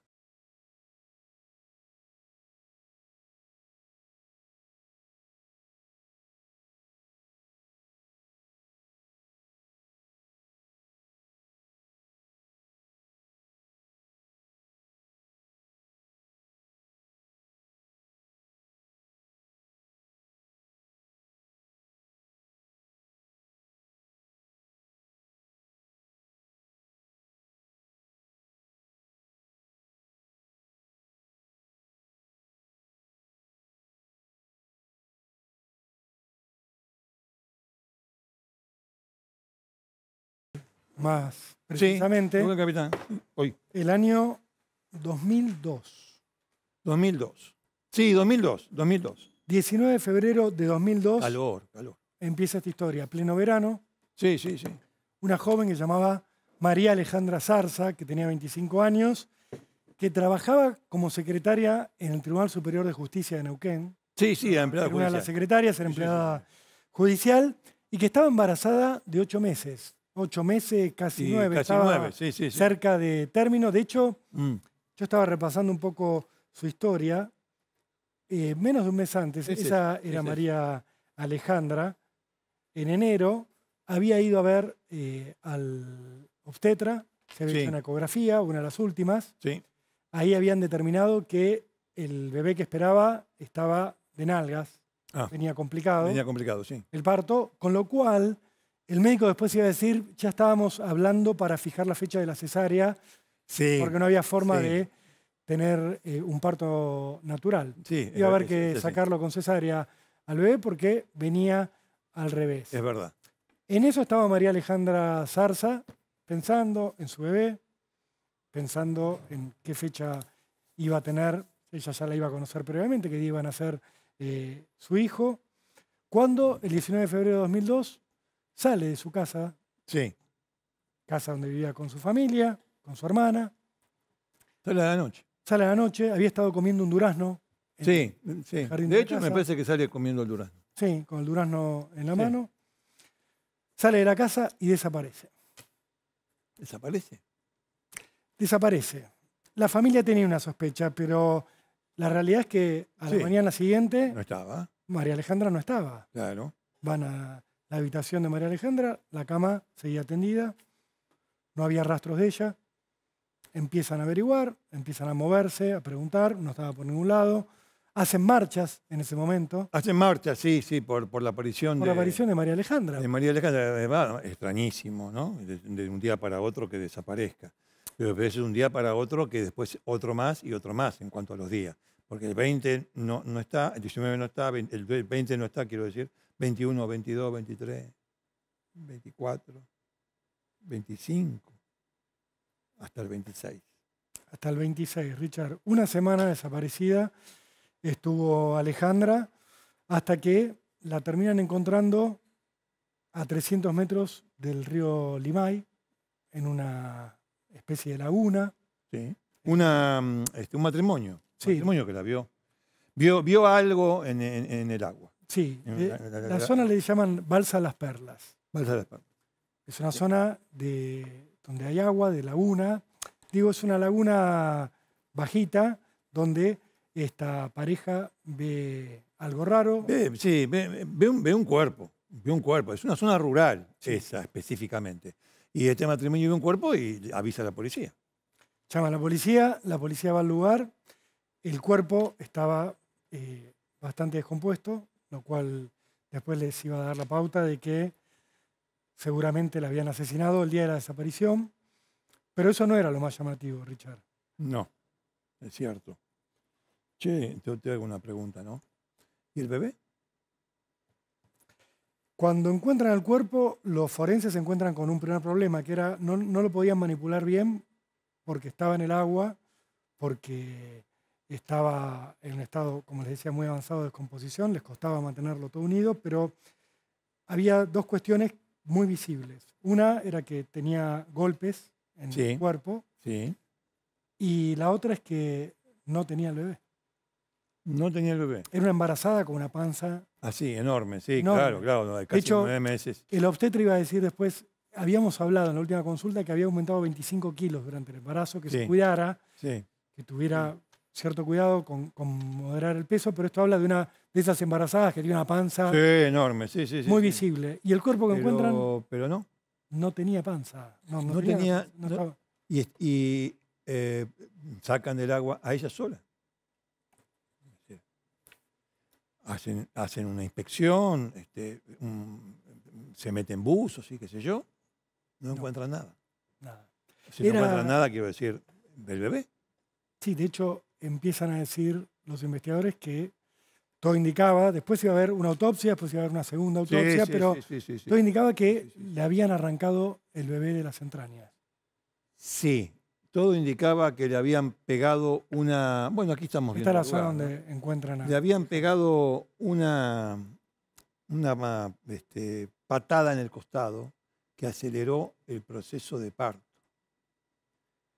Y le arrancaron la, la- criatura. ¿Qué significa arrancar la criatura? Le reventaron el útero y la vejiga para sacarlo. Le reventaron el útero y la vejiga. Una patada, y vos dijiste golpes, y tenía, tenía una trompada también.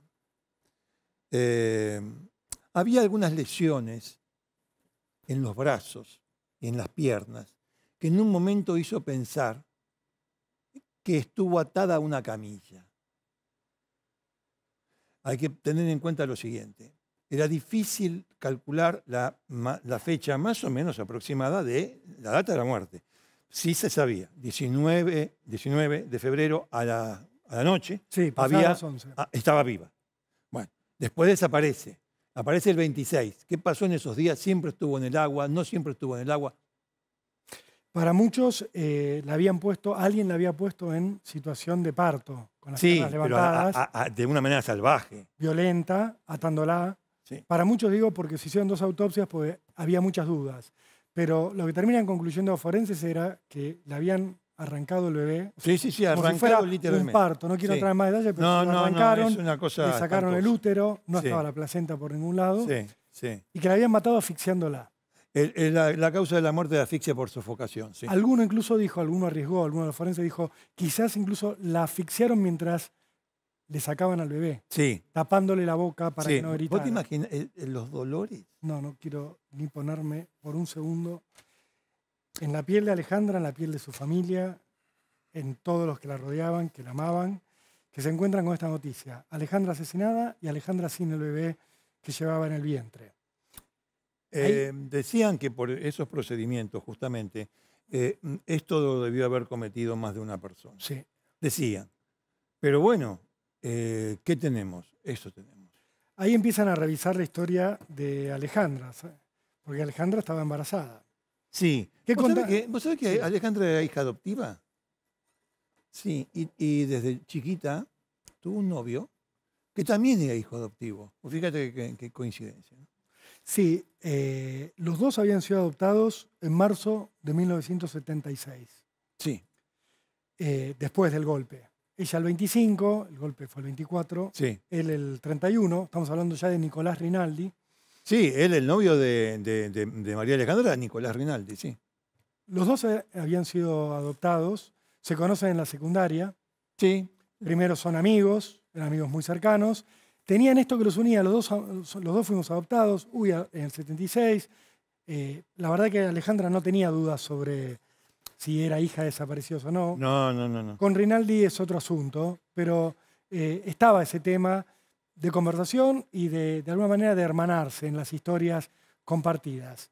Lo que cuentan quienes los conocían es que en el secundario empiezan a convertirse de amigos en novios, que empiezan a tener un contacto romántico frecuente, donde, según cuentan los que lo conocían, Alejandra era como que estaba enamorada de Rinaldi Sí, y Rinaldi, así, la tenía el- ahí. sí, ahí, ahí. Y además le había planteado, eh, cuando ella queda embarazada, Claro, porque pasa algo, Richard.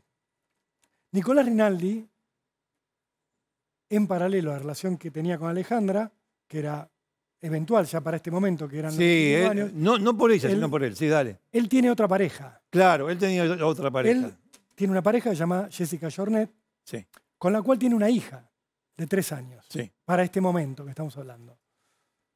O sea, un romance con Alejandra que iba y venía, donde Nicolás Rinaldi se mostraba como displicente, como Sí, Mucho sí, no me interesa. Hasta ahí, pero seguían teniendo relaciones, Exacto. al punto que Alejandra queda embarazada. Y Alejandra no tenía ninguna duda que se- el, el bebé era de, de En- Rinaldi. claro, en Ninguna agosto, duda. en agosto de 2001, Sí. ella le dice a Rinaldi, mirá, estoy embarazada, Claro. de vos. Sí, sí, sí, sí, sí. Vamos a tener un pibe. Vamos a tener Vamos un, tener un nene. Bueno. vamos a tener un nene, una nena, pero yo estoy Sí, sí, sí, embarazada. sí, sí, sí. Lo que cuentan en el entorno de Alejandra es que él tenía otra pareja, tenía una hija, él vivía en la casa del papá, Pedro Rinaldi, y que él le empieza a decir, abortalo, Sí, no lo tengas. le decía eso y además le decía, ¿qué sabes vos? ¿Qué sabes vos si es mío? No, no sé si es mío. Un auténtico canalla. Sí, totalmente. porque ella no tenía ninguna duda, al punto que cuando él le empieza a poner eh, de alguna manera bajo sospecha la posibilidad de que el hijo fuera suyo, se dejan de ver. Él se aleja, Sí, hay un tiempo en que se dejan de ver, es verdad. están como cuatro meses sin verse, donde María Alejandra sigue adelante con el embarazo, Sí, claro. claro. eh, le cuenta a las amigas incluso las opciones de nombre que tenía, si era nena, si era nene, y le dice también a las amigas, si, si él no lo reconoce, se va a llamar Zarza, mi hijo. Ah, mi sí, hija". sí, sí, sí, obviamente, obviamente, obviamente. Pero lo que cuentan eh, en el entorno de María Alejandra es que en los días previos al crimen de María Alejandra, Nicolás Rinaldi reaparece. Pasó por los tribunales donde ella trabajaba. pasó por los tribunales, la, no, no, no digo que la fue a buscar, sí, la fue a ver a ella, obviamente. Eh, de hecho, le ofreció llevarla hasta la casa. Y ahí en el auto le dijo que, bueno, sería hora de que hablaran eh, eh, seriamente o definitivamente del tema este de su embarazo y qué sé yo, que bueno, que se, que se reunieran. ¿eh? Che, escúchame, salgamos, vamos a tomar algo, vamos a comer, lo que sea, vamos a tomar algo. Y, y- y hablamos de esta situación, de nuestra situación y, y- demás. Y ella dice que sí. Sí, no hay ningún problema. Es más, yo diría que hasta estaba ciertamente, a ver, estaba entusiasmada con este asunto, porque de buen corazón dice, a ver si deja esa distancia, ¿eh? ese frío que, que- que tenemos en, en esta relación. Y bueno, nada. este, Deja la hace- pareja, se hace reconoce, cargo. reconoce a su hijo, sí, se hace cargo y quizás eso sea posible. Ahora, eso fue el 18 de febrero. el 18 de febrero arreglan verse. Arreglan verse. Según cuentan las amigas, arreglan verse el 19 de febrero. El día noche, siguiente. El día de la desaparición de Alejandra. Sí, a la noche, a las 23. Esa noche Nicolás Rinaldi, uno piensa, bueno, la debe haber pasado a buscar, pero Nicolás Rinaldi tenía una coartada para esa noche. Sí, él salió con Jessica. Dice, "Che, Jessica, ¿vamos al cine? La noche de la desaparición de Alejandra. Sí, sí. ¿A qué hora empieza la película? Y a las diez y media, diez, eh, once menos cuarto, más o menos. Por ahí. ¿Vamos al cine? Sí, dale, vamos a un multicine. Van al cine. ¿Van al cine? 19 de febrero de El 2002, 19 de febrero, o sea, eh, el mismo día, en que va a poco antes, en el tiempo, que él tenía que encontrarse con Alejandra. Alejandra tenía que encontrarse a las 11. Que de hecho, él le iba a pasar a buscar. Pero, Pero no, no estaba. Se, se- fue al multicine. Claro, van a un complejo de Un cine complejo, claro. un- Sí, un centro comercial. Sí, sí, sí. a ver una película, Con un polo gris, él tenía un polo gris. Sí, tenía un un- auto un polo gris. este, polo gris. Y se va con, Con Jessica, con la, Con- con Jessica. con la mamá de su hija. Al, al multicine. Che, escuchame una cosa. Este, vamos a ver- no, no me gusta esta película, dice él. ¿no? Este, Ella, quería ver la gran estafa. ella te- no, yo no.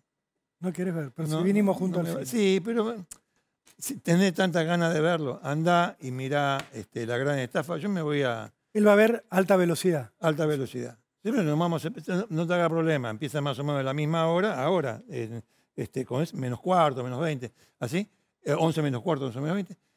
Eh, eh, nos encontramos acá cuando terminan las películas. Acá mismo, qué sé yo, comemos unos pochoclos y nos ponemos a casa. No sé. Que es Bueno. Pero bueno, Está bien. Bueno, a ver, es raro. es está bien, raro. pero entonces lo que me está diciendo Richard es que a la hora del crimen o de la desaparición de Alejandra estaba en el cine. Nicolás Rinaldi. A esa hora sí. Pero eran 15, 20 minutos antes de Sí. encontrarse con Alejandra. Y la Jessica, la pareja de, de Rinaldi, entra al cine. ¿Y él? No. Vuelve al auto. Tenía una muda de ropa. Se cambia de ropa. O sea, ya se saca la ropa que tenía con Jessica y se pone otro, otra indumentaria. Y se va a ver a María Alejandra Zarza a las 11.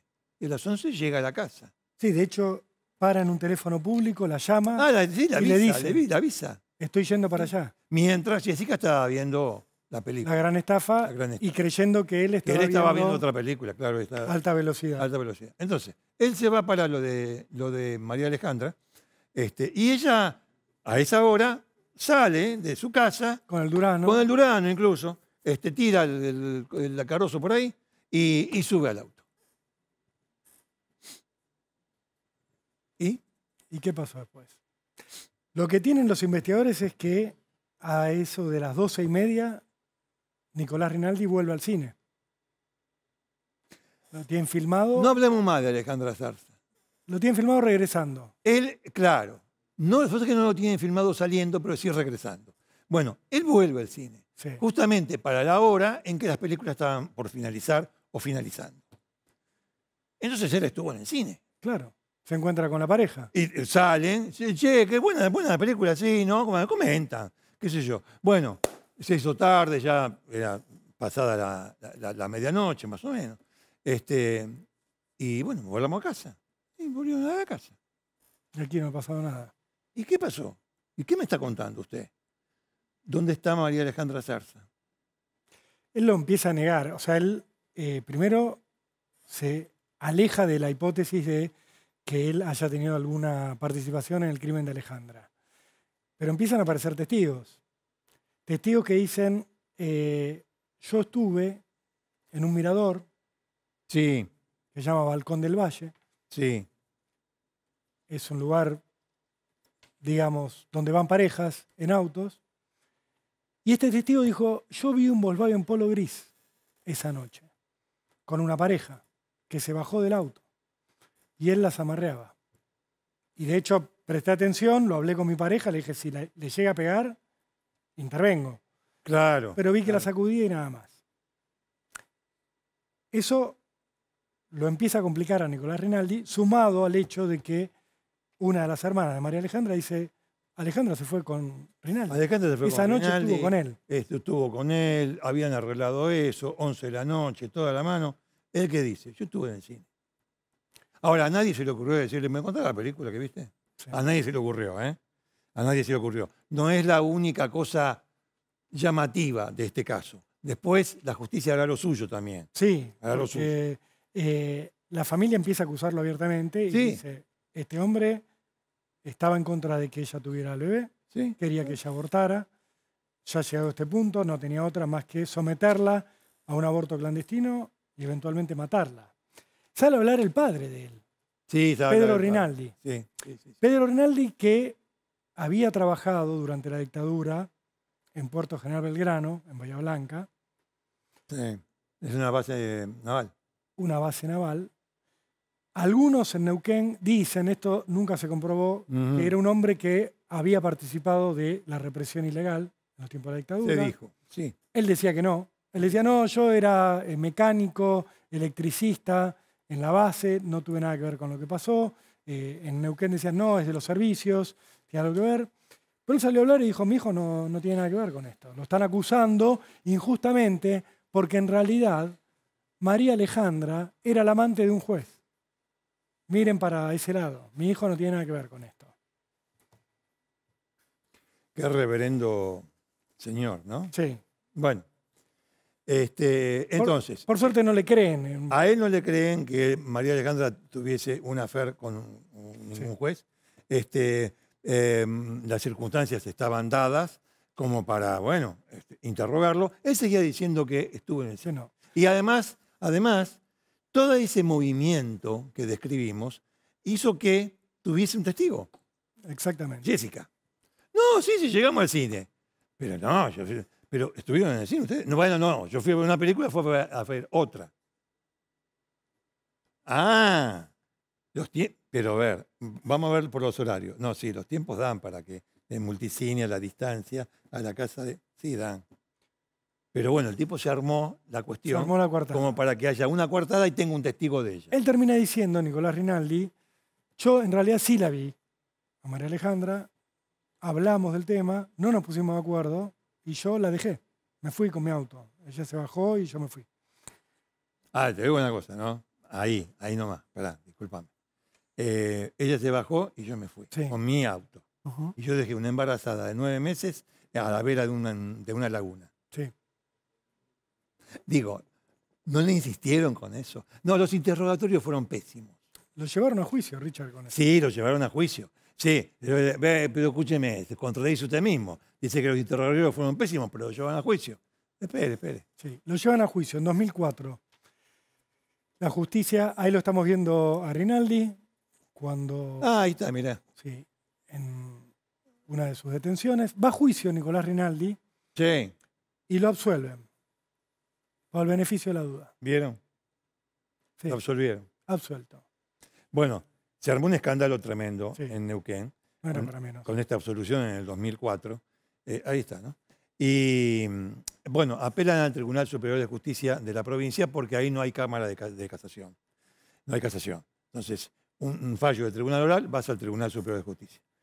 Y dijo, no, pero el Tribunal Superior de Justicia dice, no, este fallo es nulo. No se evaluaron bien las pruebas acá. Obvio. Se tiene que hacer un nuevo juicio. Se hace un nuevo juicio, Richard, en 2005, y ahí aparece un perito Sí, que termina siendo clave, porque el perito suma a las pruebas que había, que eran bastantes, Sí, Suma- suma una muy importante. una prueba clave. Dice, en las zapatillas que se le secuestraron a Rinaldi, que usó esa noche, ¿Mm? había polen. Sí, En la pedalera del auto, acelerador, embrague, freno, estaba ese mismo polen. En las alfombras del auto, la del conductor y la del acompañante, estaba ese mismo polen. Ese polen es de una planta acuática que está en la laguna. que está en la laguna donde encontraron el cadáver de Alejandra Zarza. Es decir, que el tipo pisó la- las flores de la laguna. Sí. Se llama Ludwigia uruguayense, la planta, cuyo polen se encontró en estos lugares. Con estos elementos, dicen los jueces del segundo juicio Del segundo juicio. en 2005, Sí, sí. nos alcanza para condenarlo, pero como partícipe necesario. El fiscal se olvidó completamente, o no quiso, o no supo, del aborto. ¿sí? Lo condenan a Rinaldi a 21 años de cárcel como partícipe necesario de homicidio simple con dolo eventual. O sea, que él debió haberse representado que ¿Qué ella qué? cuando le provocaran un aborto que no estaba Que no, penando, no, no, no, claro, no, estaba, no, no fue ni investigado, nada. ella podía terminar muriendo. Y así, Sí, pero fue asfixia este, por sofocación. O sea, le alguien le metió la mano en la cara. claro, Entonces, ¿el partícipe necesario de quién? ¿O de qué? Porque en definitiva, también el polen se encontró en la alfombra de atrás del auto. hubo alguien más en ese auto. Y había marcas en los brazos. Había, había alguien más. El taller mecánico del padre. ¿Se puede pensar en el ¿Cuándo? padre? Bueno, El padre murió en 2011, lamentablemente, sí. y nunca lo contó. Cuando dan el fallo del, del segundo juicio, el fallo del segundo juicio fue como vos dijiste, pero 2 a 1, no fue unánime. Empezó a hablar el que lo había votado por la absolución. Y cuando empezó a decir que para él no había pruebas suficientes contra este, desde la calle, porque estaba la gente reunida esperando el resultado de este juicio, voló una piedra que rompió un vidrio y entró en la sala del tribunal. Pudo, pudo haber pasado cualquier cosa. No pasó porque los otros dos votos de los otros dos jueces Fueron condenados. fueron condena. Y lo condenaron a 21 años de prisión a este tipo en un fallo que quedó firme en el año 2010. Pero, ¿qué pasó con María Alejandra Zarza? Yo no lo sé. No. 2015, Rinaldi salió en libertad condicional Sí. y la condena venció ahora, Richard. Sí, ya está. este Este, este tema, este tema judicialmente está terminado. eh, el tipo está en libertad. Y, ¿Y qué le pasó a María Alejandra Zarza? Nunca lo sabremos, seguramente. Mira, A ver. Creo que este fue el último momento. que- Ah, claro, cuando salía de su casa para reunirse con, con, con Rinaldi. Exacto. Exactamente. Miguel Paraíso siempre nos muestra lo que no podemos ver. Este es el auto, el Volkswagen Polo. Fíjense el detalle de Nicolás Rinaldi. La ve la hermana a Alejandra antes de subirse al coche y de ahí Alejandra va a terminar siendo asesinada. Exactamente. Espectacular lo de Miguel. Como Miguel siempre. Paraíso Arte en Instagram para ver esta y todas las obras de arte que hace cada sábado en Cámara de Crimen. Miguel. Grande, Miguelito. Muchas gracias. Bueno, ¿vamos a una pausa? Dale. Dale, ya venimos. Bueno, volvemos a Cámara de Crimen para hablar de un caso. Eh, estamos hablando de malas investigaciones. Bueno, esta es una de ellas. Se trata de, de un eh, robo como, con un asesinato. A propósito del robo de un auto, eh, mataron a su dueño.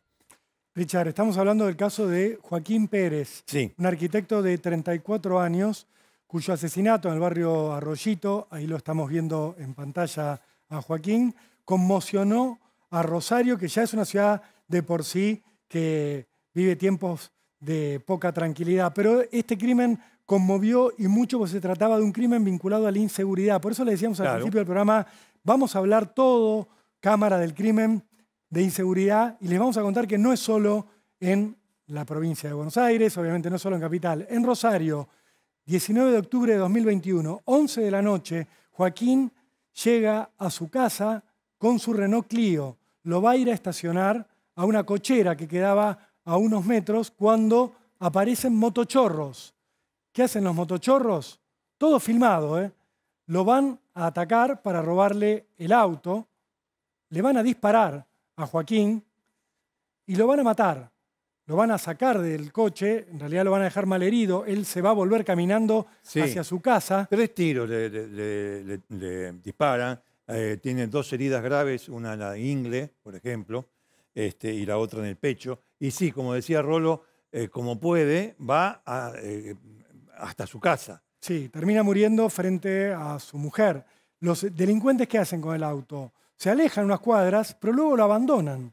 Dejan el auto, dejan el arma en el Qué auto. raro eso. de- Rarísimo. de que abandonen el, el coche, no, lo, expli- lo explicamos antes, es un coche que está marcado. Ahí está el arma, mirá, encima. adentro del auto. Y ahí está el, el- el arma, mirá. Lo que queremos marcar con esto es lo siguiente. Está el auto recuperado, debería tener huellas de los asesinos. Está el arma, debería tener huellas de los asesinos. Está la filmación del momento del robo, de los motochorros, llegando, escapando. Pero aún hoy este caso está impune. Un caso que provocó en su momento una marcha multitudinaria al Monumento a la Bandera que se conoció como Rosario Sangra, una marcha que fue un clamor de los rosarinos para que alguien hiciera algo para detener los crímenes que conmueven a la ciudad Ahí todo el tiempo.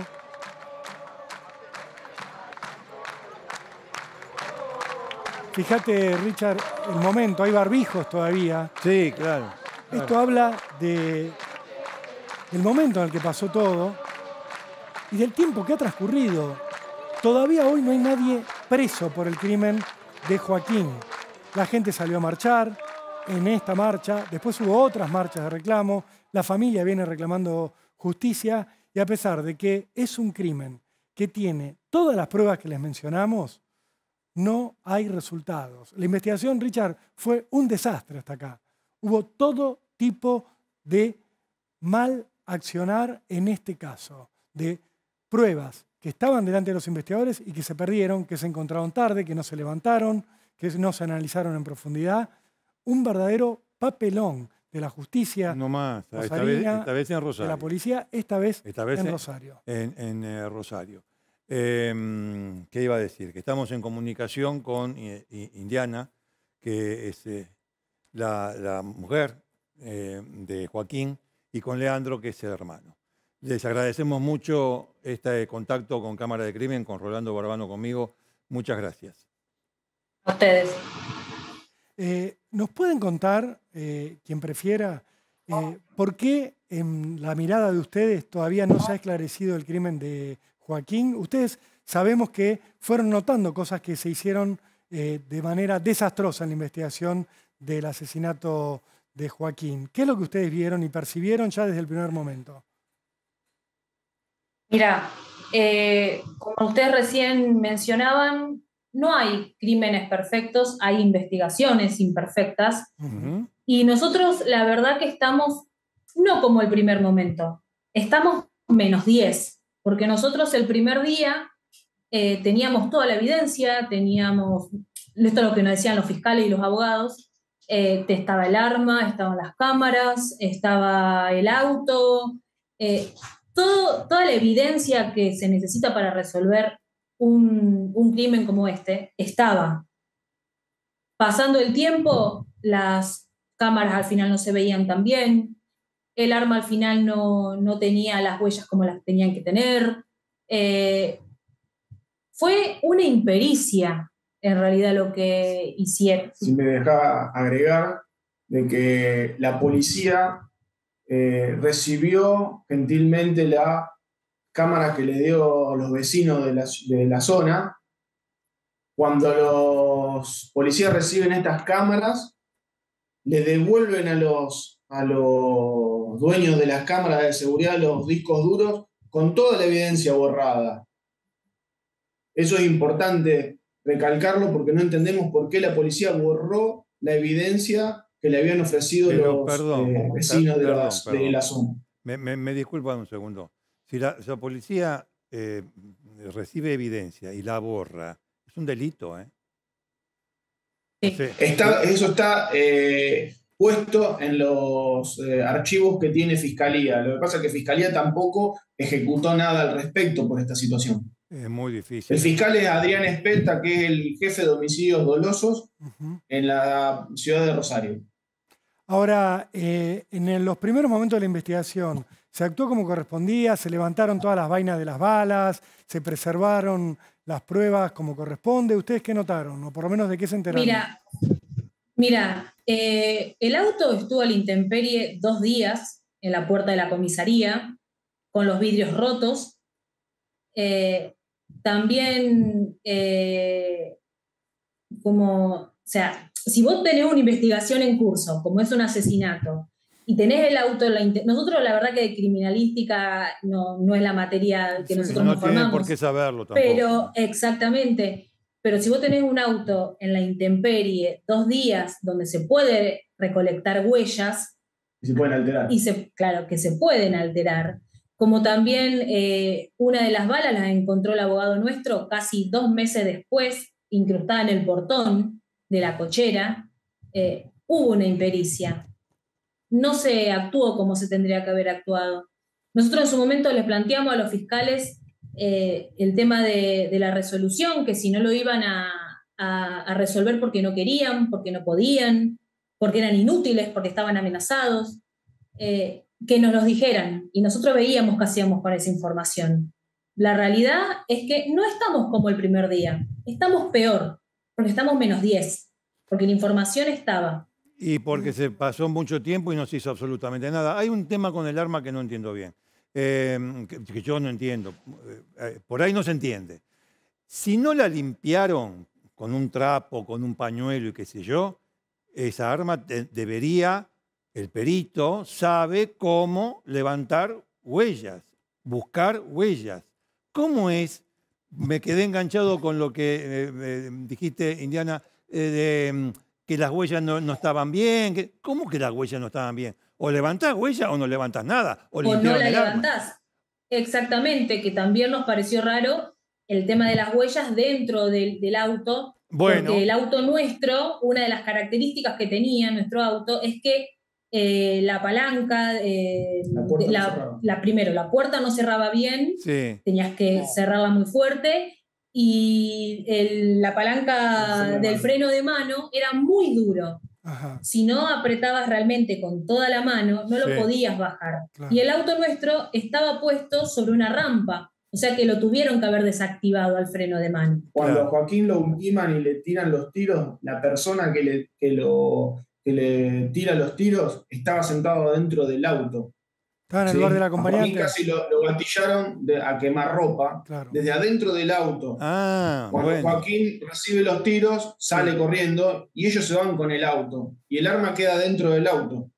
O sea que estuvieron adentro en el momento del crimen, tienen que haber dejado ADN, huellas, y después se fueron en el auto. Tienen que haber dejado pelos, tienen que haber dejado ni hablar de las huellas digitales, pero de todo tendría que haber aparecido en según, Según los peritos, no hay eh, registro de, datos epiteliares eh, dentro del auto. O sea, a los tipos no se les cayó un solo pelo, no dejaron un pedazo de piel de nada. Eh, a la, al arma homicida no le pudieron recoger ni siquiera una sola huella dactilar completa. Pero hablando de huellas dactilares, si tenía que accionarse el freno de mano, para, para, para salir. Y bueno, en el freno de mano tuvo que haber al auto, al Auto tampoco, al auto tampoco le encontraron ningún tipo de huellas. Es más, el arma, por la impericia que hay en la provincia de Santa Fe, tuvo que viajar hasta el Chaco para que le hicieran en el Chaco. Eh, pericias. En el Chaco. En el Chaco. En Chaco hicieron las pericias del arma y en Córdoba hicieron la reconstrucción de imágenes de la cámara de videovigilancia porque acá no podían eh, dilucidarlas. Lo que les quiero preguntar a los dos, como cierre un poco de este caso que queríamos exponer, para recordar que lleva más de dos años impune y es una vergüenza nacional, es ¿por qué creen ustedes que no se esclareció? ¿Por qué tanta negligencia, tantos errores, tanta gente que no sabe trabajar? ¿Es casualidad o creen que hay una intención? ¿Qué es lo que sospechan?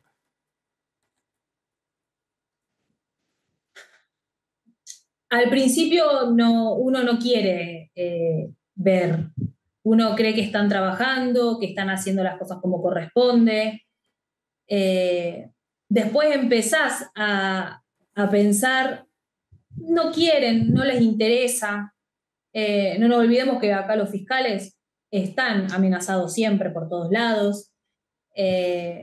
La realidad es que nosotros no sabemos, por eso fuimos con los fiscales y les dijimos, si no lo van a resolver por el motivo que fuere, lo tienen que decir y nosotros vemos qué hacemos con esa información.